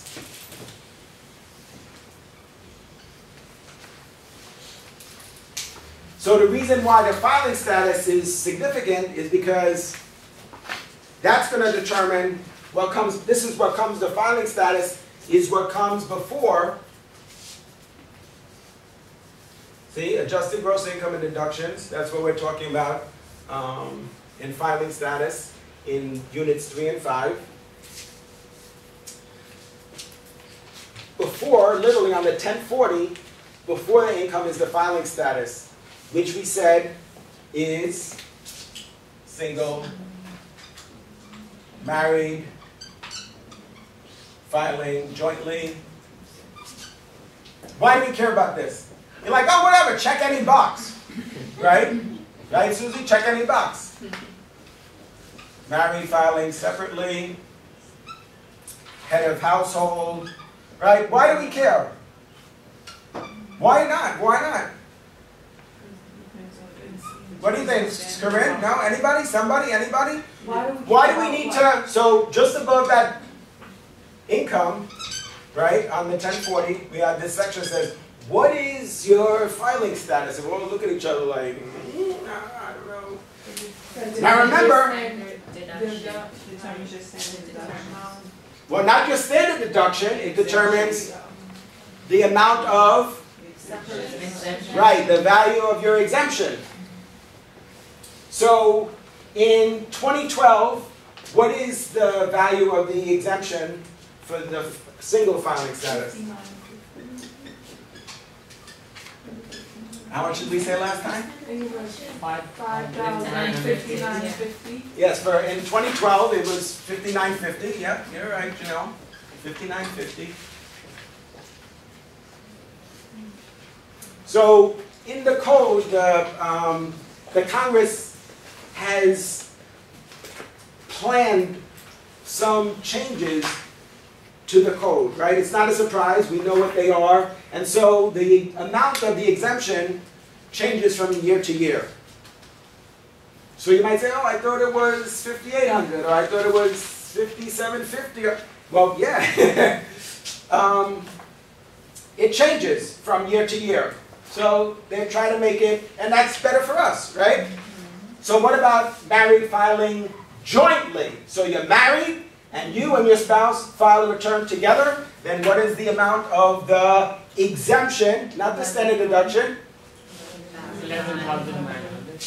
Yes? And for married filing separately? Each.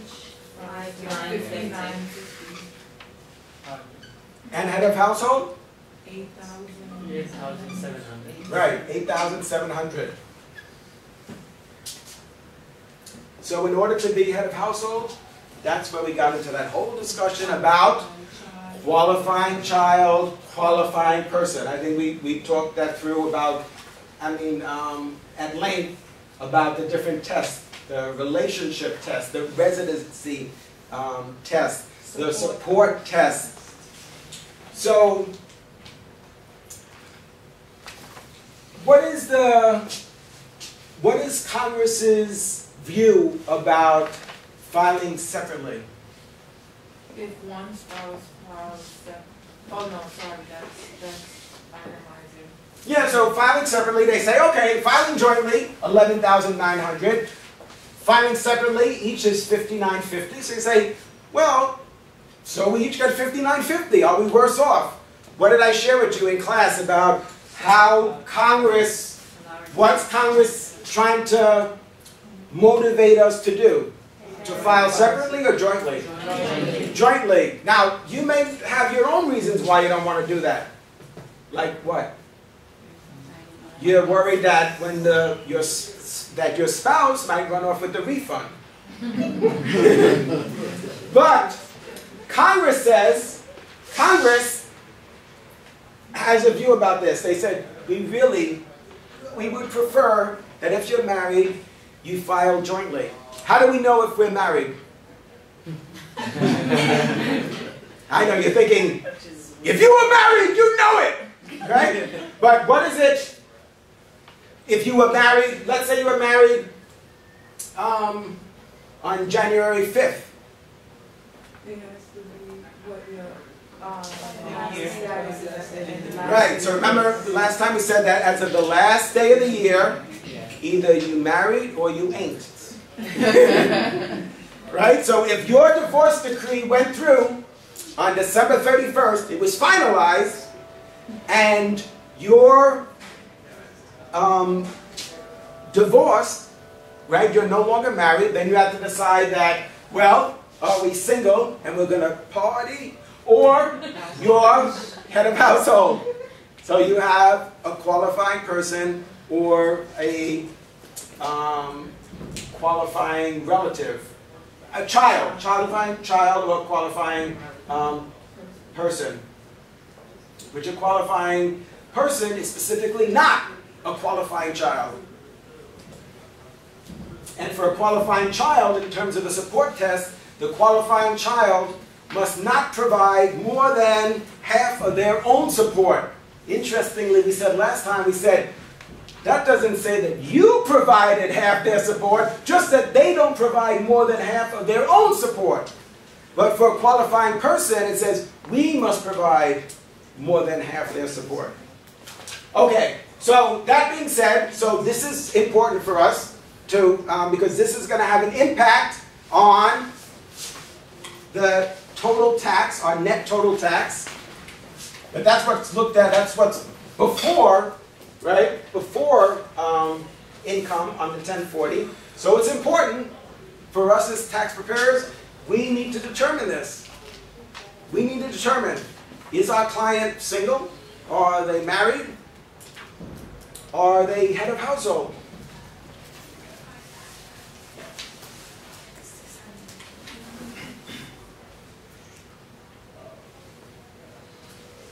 So to go back, remember, yes, we have reason to believe that Congress favors married filing jointly. Why? Because if you file separately, there are certain limitations as to the credits that you could take.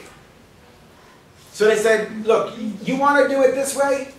You want to file separately? Okay, then remember last time I listed for you a number of different credits. You can't take this credit, that credit, the other credit, right? One of the most significant credits is the education credit.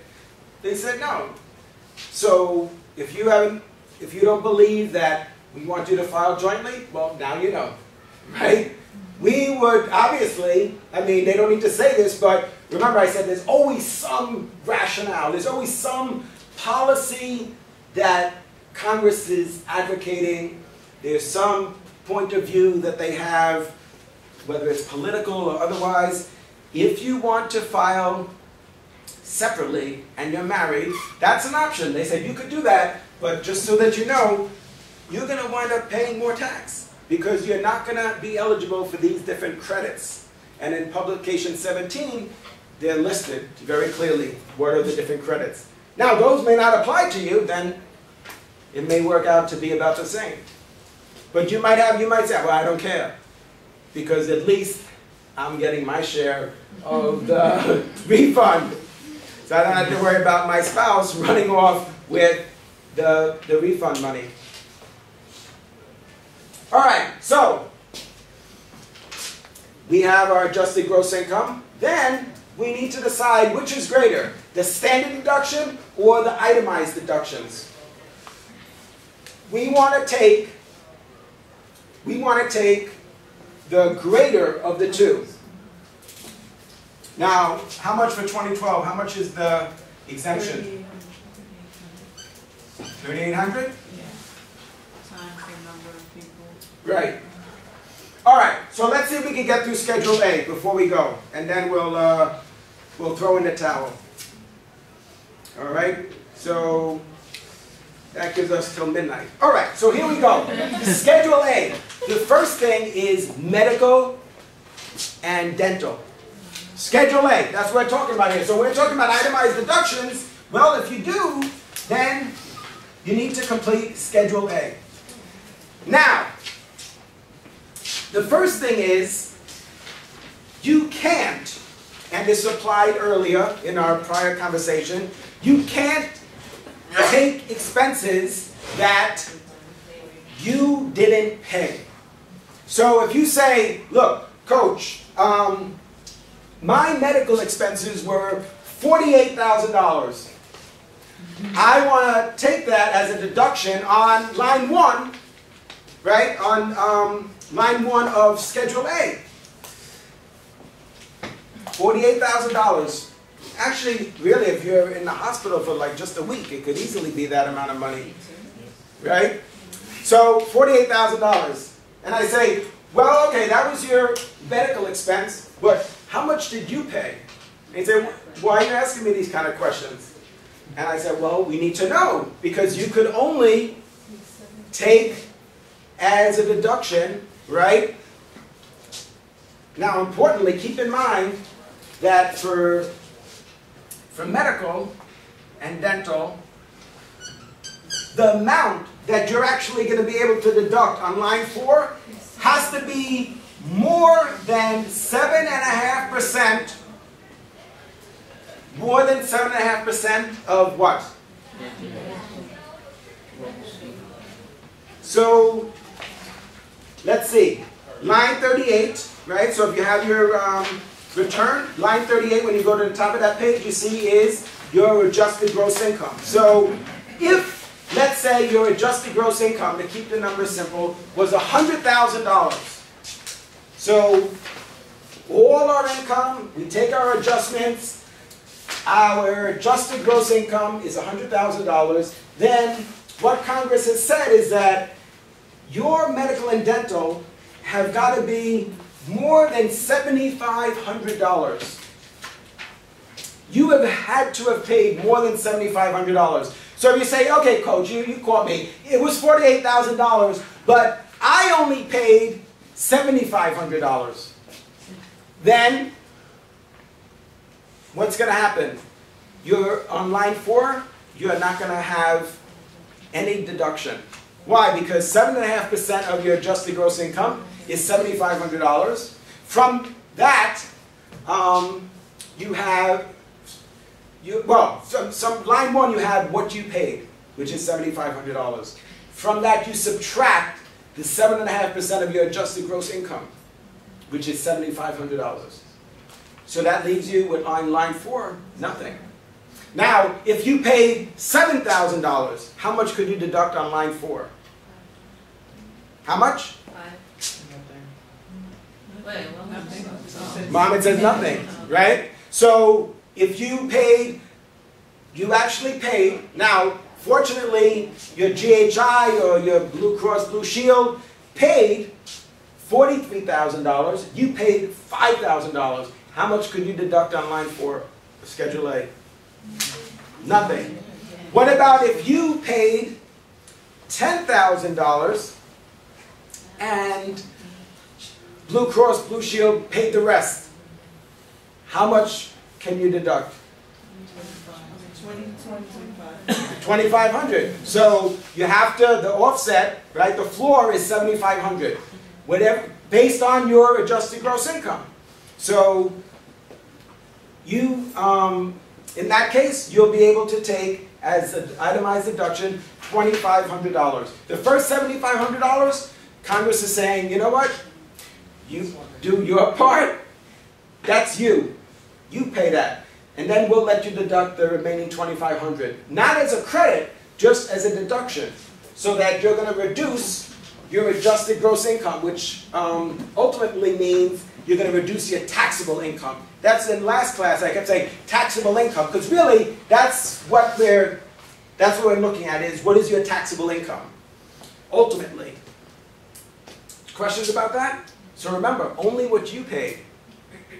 So if somebody says, oh no, just put down whatever your expenses were, that is completely wrong. Completely. Don't listen to anybody who says that. That's not true. Only you look at what you pay out of pocket. What other people paid, that's irrelevant. That's absolutely irrelevant. Now, you might have not, now, a lot of Americans, for example, don't have health insurance. So, you might have actually had to, you, they might have billed you for the $42,000. How much can you deduct? So, suppose they did bill you for the $42,000. How much could you deduct? What do we do? We take the 42,000 minus the 7,500? Thirty-four. And how much is that? Thirty-four thousand five hundred. Now, that, I guess that's kind of like what you would call a trick question. Because I said, what they billed you Yeah, for. exactly. Yeah. I didn't pay anything. You- I'm sure you get bills all the time. I get bills all the time. That doesn't mean that I pay them. So remember, this is also very important. An invoice, the IRS does not consider an invoice proof. An invoice is just a bill. That's not proof of payment. If you have dialogue with the IRS, if you're practicing, if you're practicing before the IRS, remember we talked about that in Circular 230, that 48-page document. If you're practicing before the IRS, the IRS wants to see proof of payment. Invoices, bills, that's, that's not going to help you. Proof of payment. If you want invoices, I can give you invoices. Anybody here, just let me know. If you need an invoice, I can give you an invoice. There's got to be proof of payment. Like a receipt? No.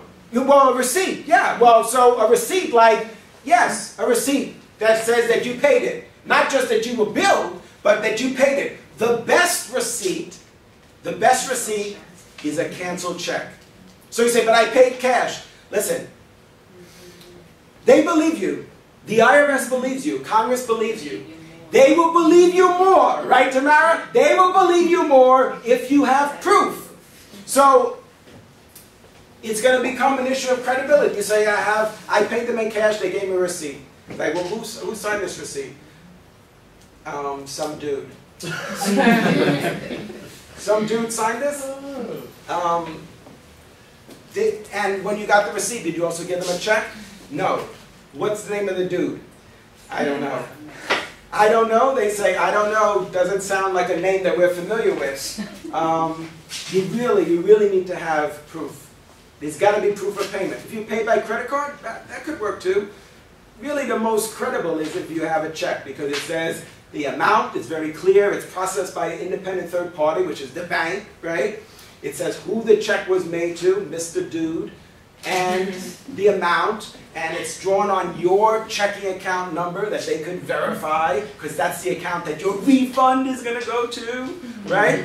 Or the money that um, that you owe is going to, the account that it's going to come out of. So paying by check. So what you pay, that's what they're interested in. How much did you pay? So is there any question about that? Because this is very important. It's common for people to think, I had all these expenses. That's what I put down. It says medical and dental expenses on line one, the Schedule A. And people think, well, I did. I did have, I did have these expenses. Forty-something thousand dollars. But it even says right on the form, right? For us knuckleheads, it says, do not, do not include expenses reimbursed or paid by others. So just what you paid, just what we paid.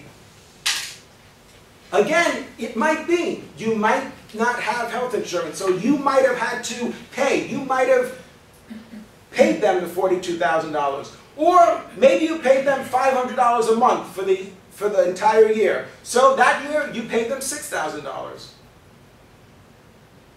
Not the whole 42000 only the $500 a month, and you have checks for that.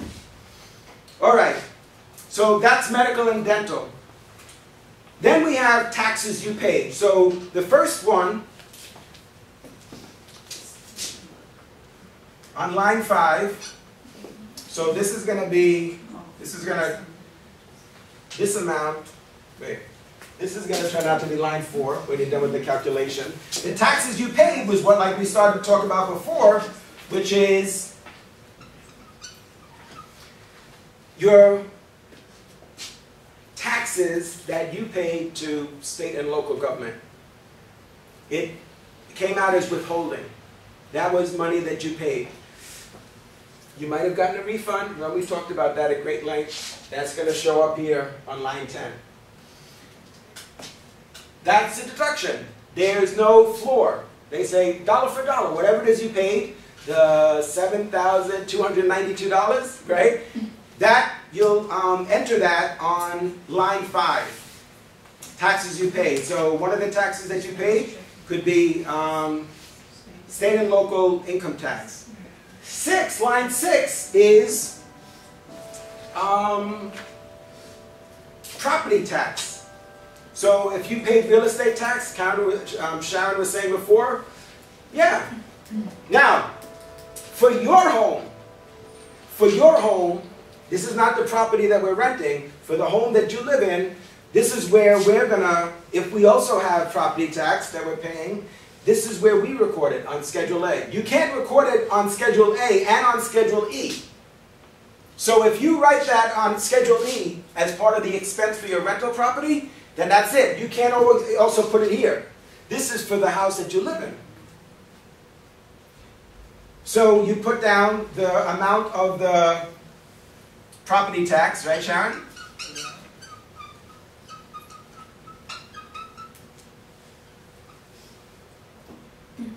So you can't do both. If you put it on Schedule E, that's fine. That's part of your expenses for that rental property. But the IRS says that, Congress says that um, the house that you live in, if you're paying property tax, right, the house that you own, then you could um, take that as an itemized deduction.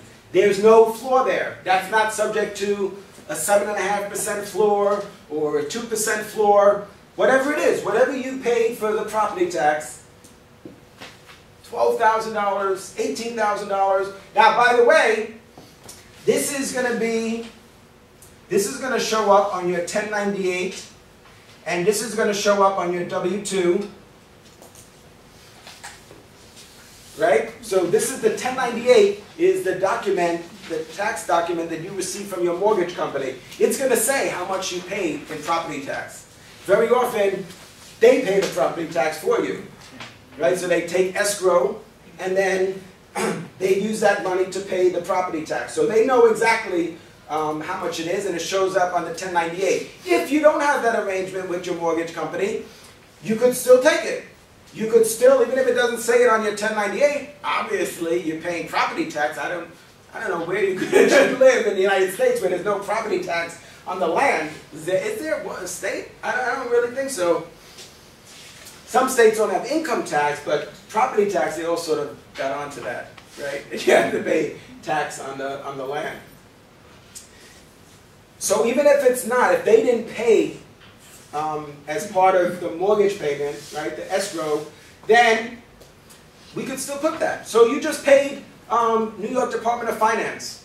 You pay them, you send them a check for $3,600. That's fine. It's not on your 1098, but you have the check, which is proof, right? They believe you, Tamara said. They believe you more when they see the canceled check. So you could still take that. I just don't want you to think that because it's not on the 1098 that you wouldn't be able to deduct that. You can, so it's a little bit cleaner if it shows up on your 1098 because it says also how much you paid in your mortgage interest and the property tax. But if not, it, it's okay.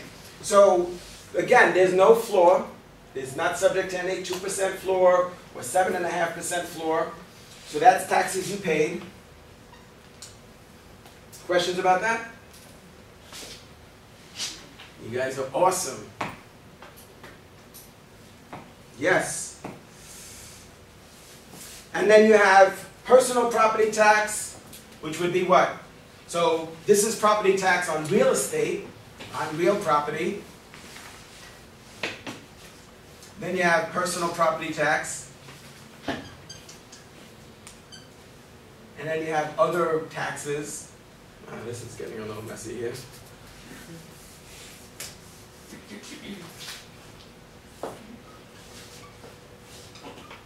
So what would be an example of other taxes, like foreign taxes? So if you pay taxes to a foreign government, then um, you could take that off here. What is going on here? Whoa. So we have property, state, what do we got here? Okay, this is real property, and then personal property. Can you, um, elaborate a bit more on personal property tax? Yeah, so what would be personal property? Like, for example, if you pay, if there's a tax on your car. So that's considered to be personal versus real property. Real property is the, is the land that your house is built on. Um, But personal property, your car, your, um, your boat. So if you have to pay tax on that, then that's something that you could um, take in this section of Schedule A. So we have medical, we have taxes that we paid, and we have interest that we paid. So the big one, now, you probably don't remember, but there was a time when, um, for example, um, we could use interest that we paid on credit cards and um, other types of loans, miscellaneous loans, and reduce our taxable income. But that's in the past. But just to give you a sense of um, perspective. Now, the main um, part of interest that you pay really is, for most people, mortgage interest. Can we go back to the personal property tax? Personal that- property. Yeah, is that when you initially buy the car, that the taxes that you pay? Oh, so that would actually be what? What would how, what would that be? A sales tax, right? So is a sa- is that what you're is that what we're talking about here? Yeah. No. Well, would, wouldn't it depend, no, the sales tax wouldn't be categorized in, in this um, bracket of taxes. Right. So, So, for example, if just like um, the government assesses a tax on our land, the government could assess a tax on our property. So, in New York, we're used to paying like a license fee on our car or registration fee.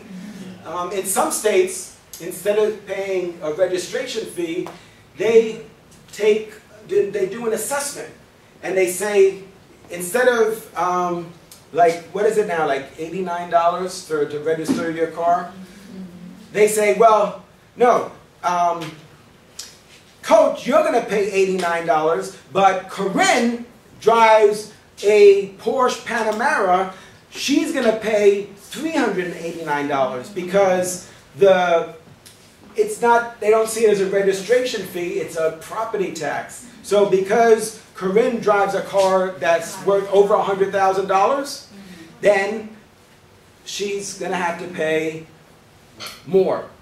So that's an example of a property tax. So it's based on the value.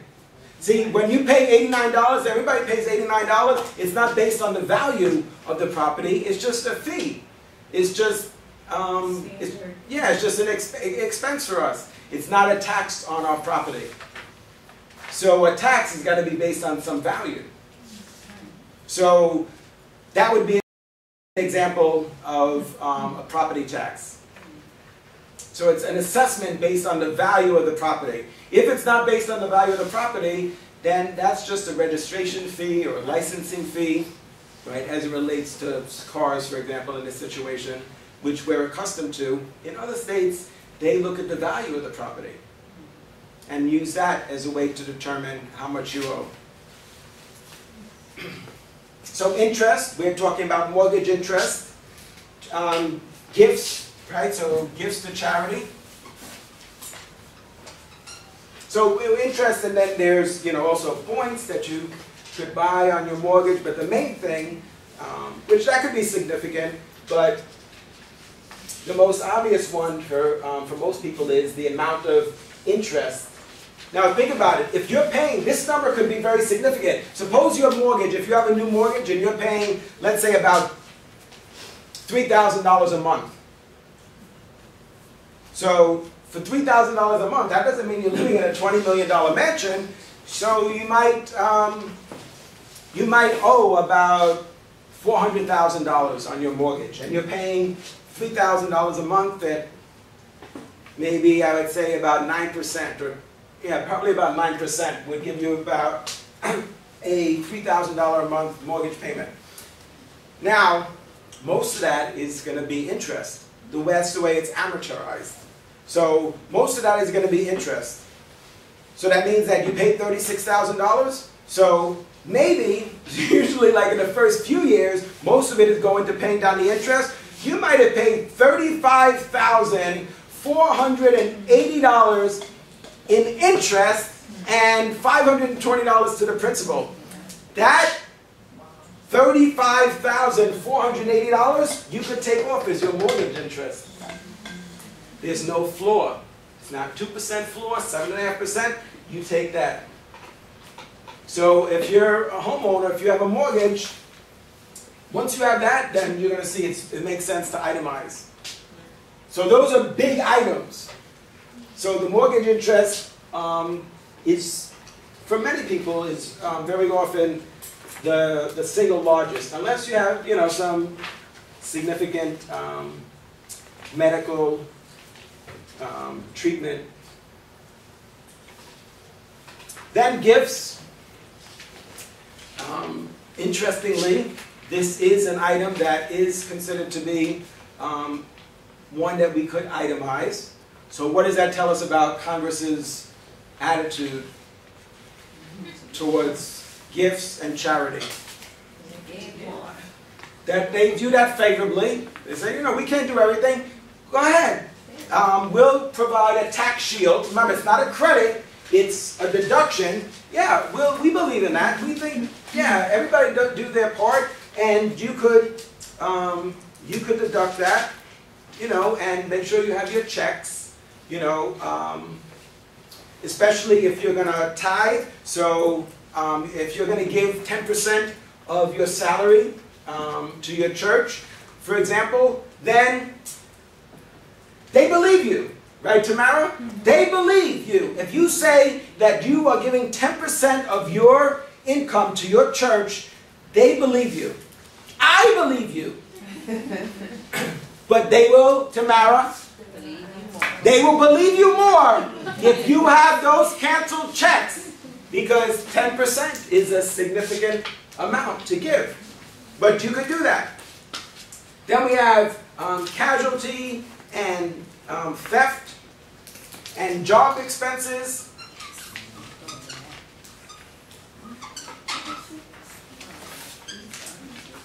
And then we have miscellaneous, and then we have our total itemized deductions.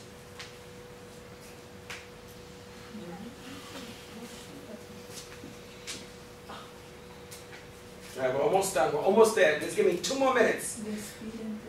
I know. We'll, we, we'll, we could look at this again.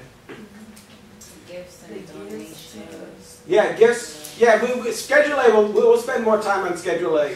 But I want to give you an overview now. Yeah, we could, we could spend a long time talking about Schedule A. You're right. But I want to give you an overview so you see how we um, compute, how we compute taxes for an individual. So this is the formula. So we have our gross income, we subtract our adjustments. When we do that, we get our adjusted gross income.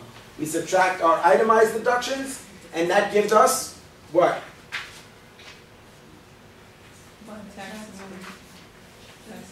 Yeah, our taxable income. So this is going to give us our taxable income. Have I told you you guys are awesome? yeah, you guys are awesome. Yeah, but now, are we supposed to multiply the taxable income by the tax rate? Wait, not yet. Um, But that's how the layout, the format is online. Yeah, and on the ten forty, so on the ten forty, what happens, once we get our taxable income, then we need to determine what the tax is, that's what this is. The tax, that says gross tax, separate, even if I just take this off, right? Maybe that's, we should, maybe you don't wanna put that there, that's okay. Because the reason why we say gross tax, so this is our, what um, Janelle is saying is, yeah, after we subtract from our adjusted gross income, which is the top of um, side two of the 1040, the very first line, after we subtract our itemized deductions, we're going to get our taxable income. That's our taxable income. Then, once we know what our taxable income is, then we need to determine, Janelle is saying, how much is the tax? All right, so very often we'll look that up on the table and we'll see that for head of household, the tax rate is going to be less. So if we, not only do we get the, um, the exemptions, but we'll see that the tax rate for head of household is less. That's why so many people are trying to say, could I put, claim your kid as a dependent? Could I use your kid's social security number? Can I, can Sharon, um, could I use Sharon as a, as a dependent on my return? So we find out what the amount of the tax is. So let's say we look this up on the table in the instructions for um, 1040, which I ordered for you guys. Um, I'm surprised we didn't, it wasn't um, here today, but hopefully next time. I know they're backed up on, um, they're behind in publication 17. But this is the tax. So remember, so we have our taxable income. That's our taxable income. We went through all of that to find out what is our taxable income.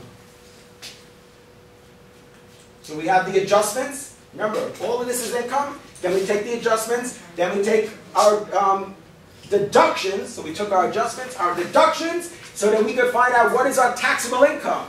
Once we know our taxable income, now we need to determine how much we owe. So we look up on the table, very often we're just going to look it up on the table. We're not even today, we're not even going to talk about alternative minimum tax, right? Okay, so we look up on the table. So this is, what line is this for 2012? So this is, um, Corinne, is that you?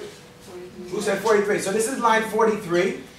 And then line 44 is now that we know the taxable income, now how much is our tax? So we look that up on the table, we find out how much is the tax. Then we subtract the credits. Mm-hmm. Then we add other taxes that we owe. And then we get the net total tax. That's why over here I put gross, but I, I erased it. So we have the gross tax, this is the amount that we owe. We add, uh, we subtract the credits, we add the other taxes, and then we get, ta-da, the net total tax. That's the tax that we owe. But you say, wait, coach, but I already paid. I already paid something. Okay, whatever we paid, like um, Suzette told us before, they, I paid, I, when I got money out of my IRA, I, I, they took money from me, they had a withholding. When I got my salary, my wages, they took withholding. Those payments and our 1040 ES, our estimated tax payments, all of those, so we're gonna, there's a line for each of those, right? We subtract that from our net total tax, and then we're gonna decide, do we get a refund? Or do we still owe money?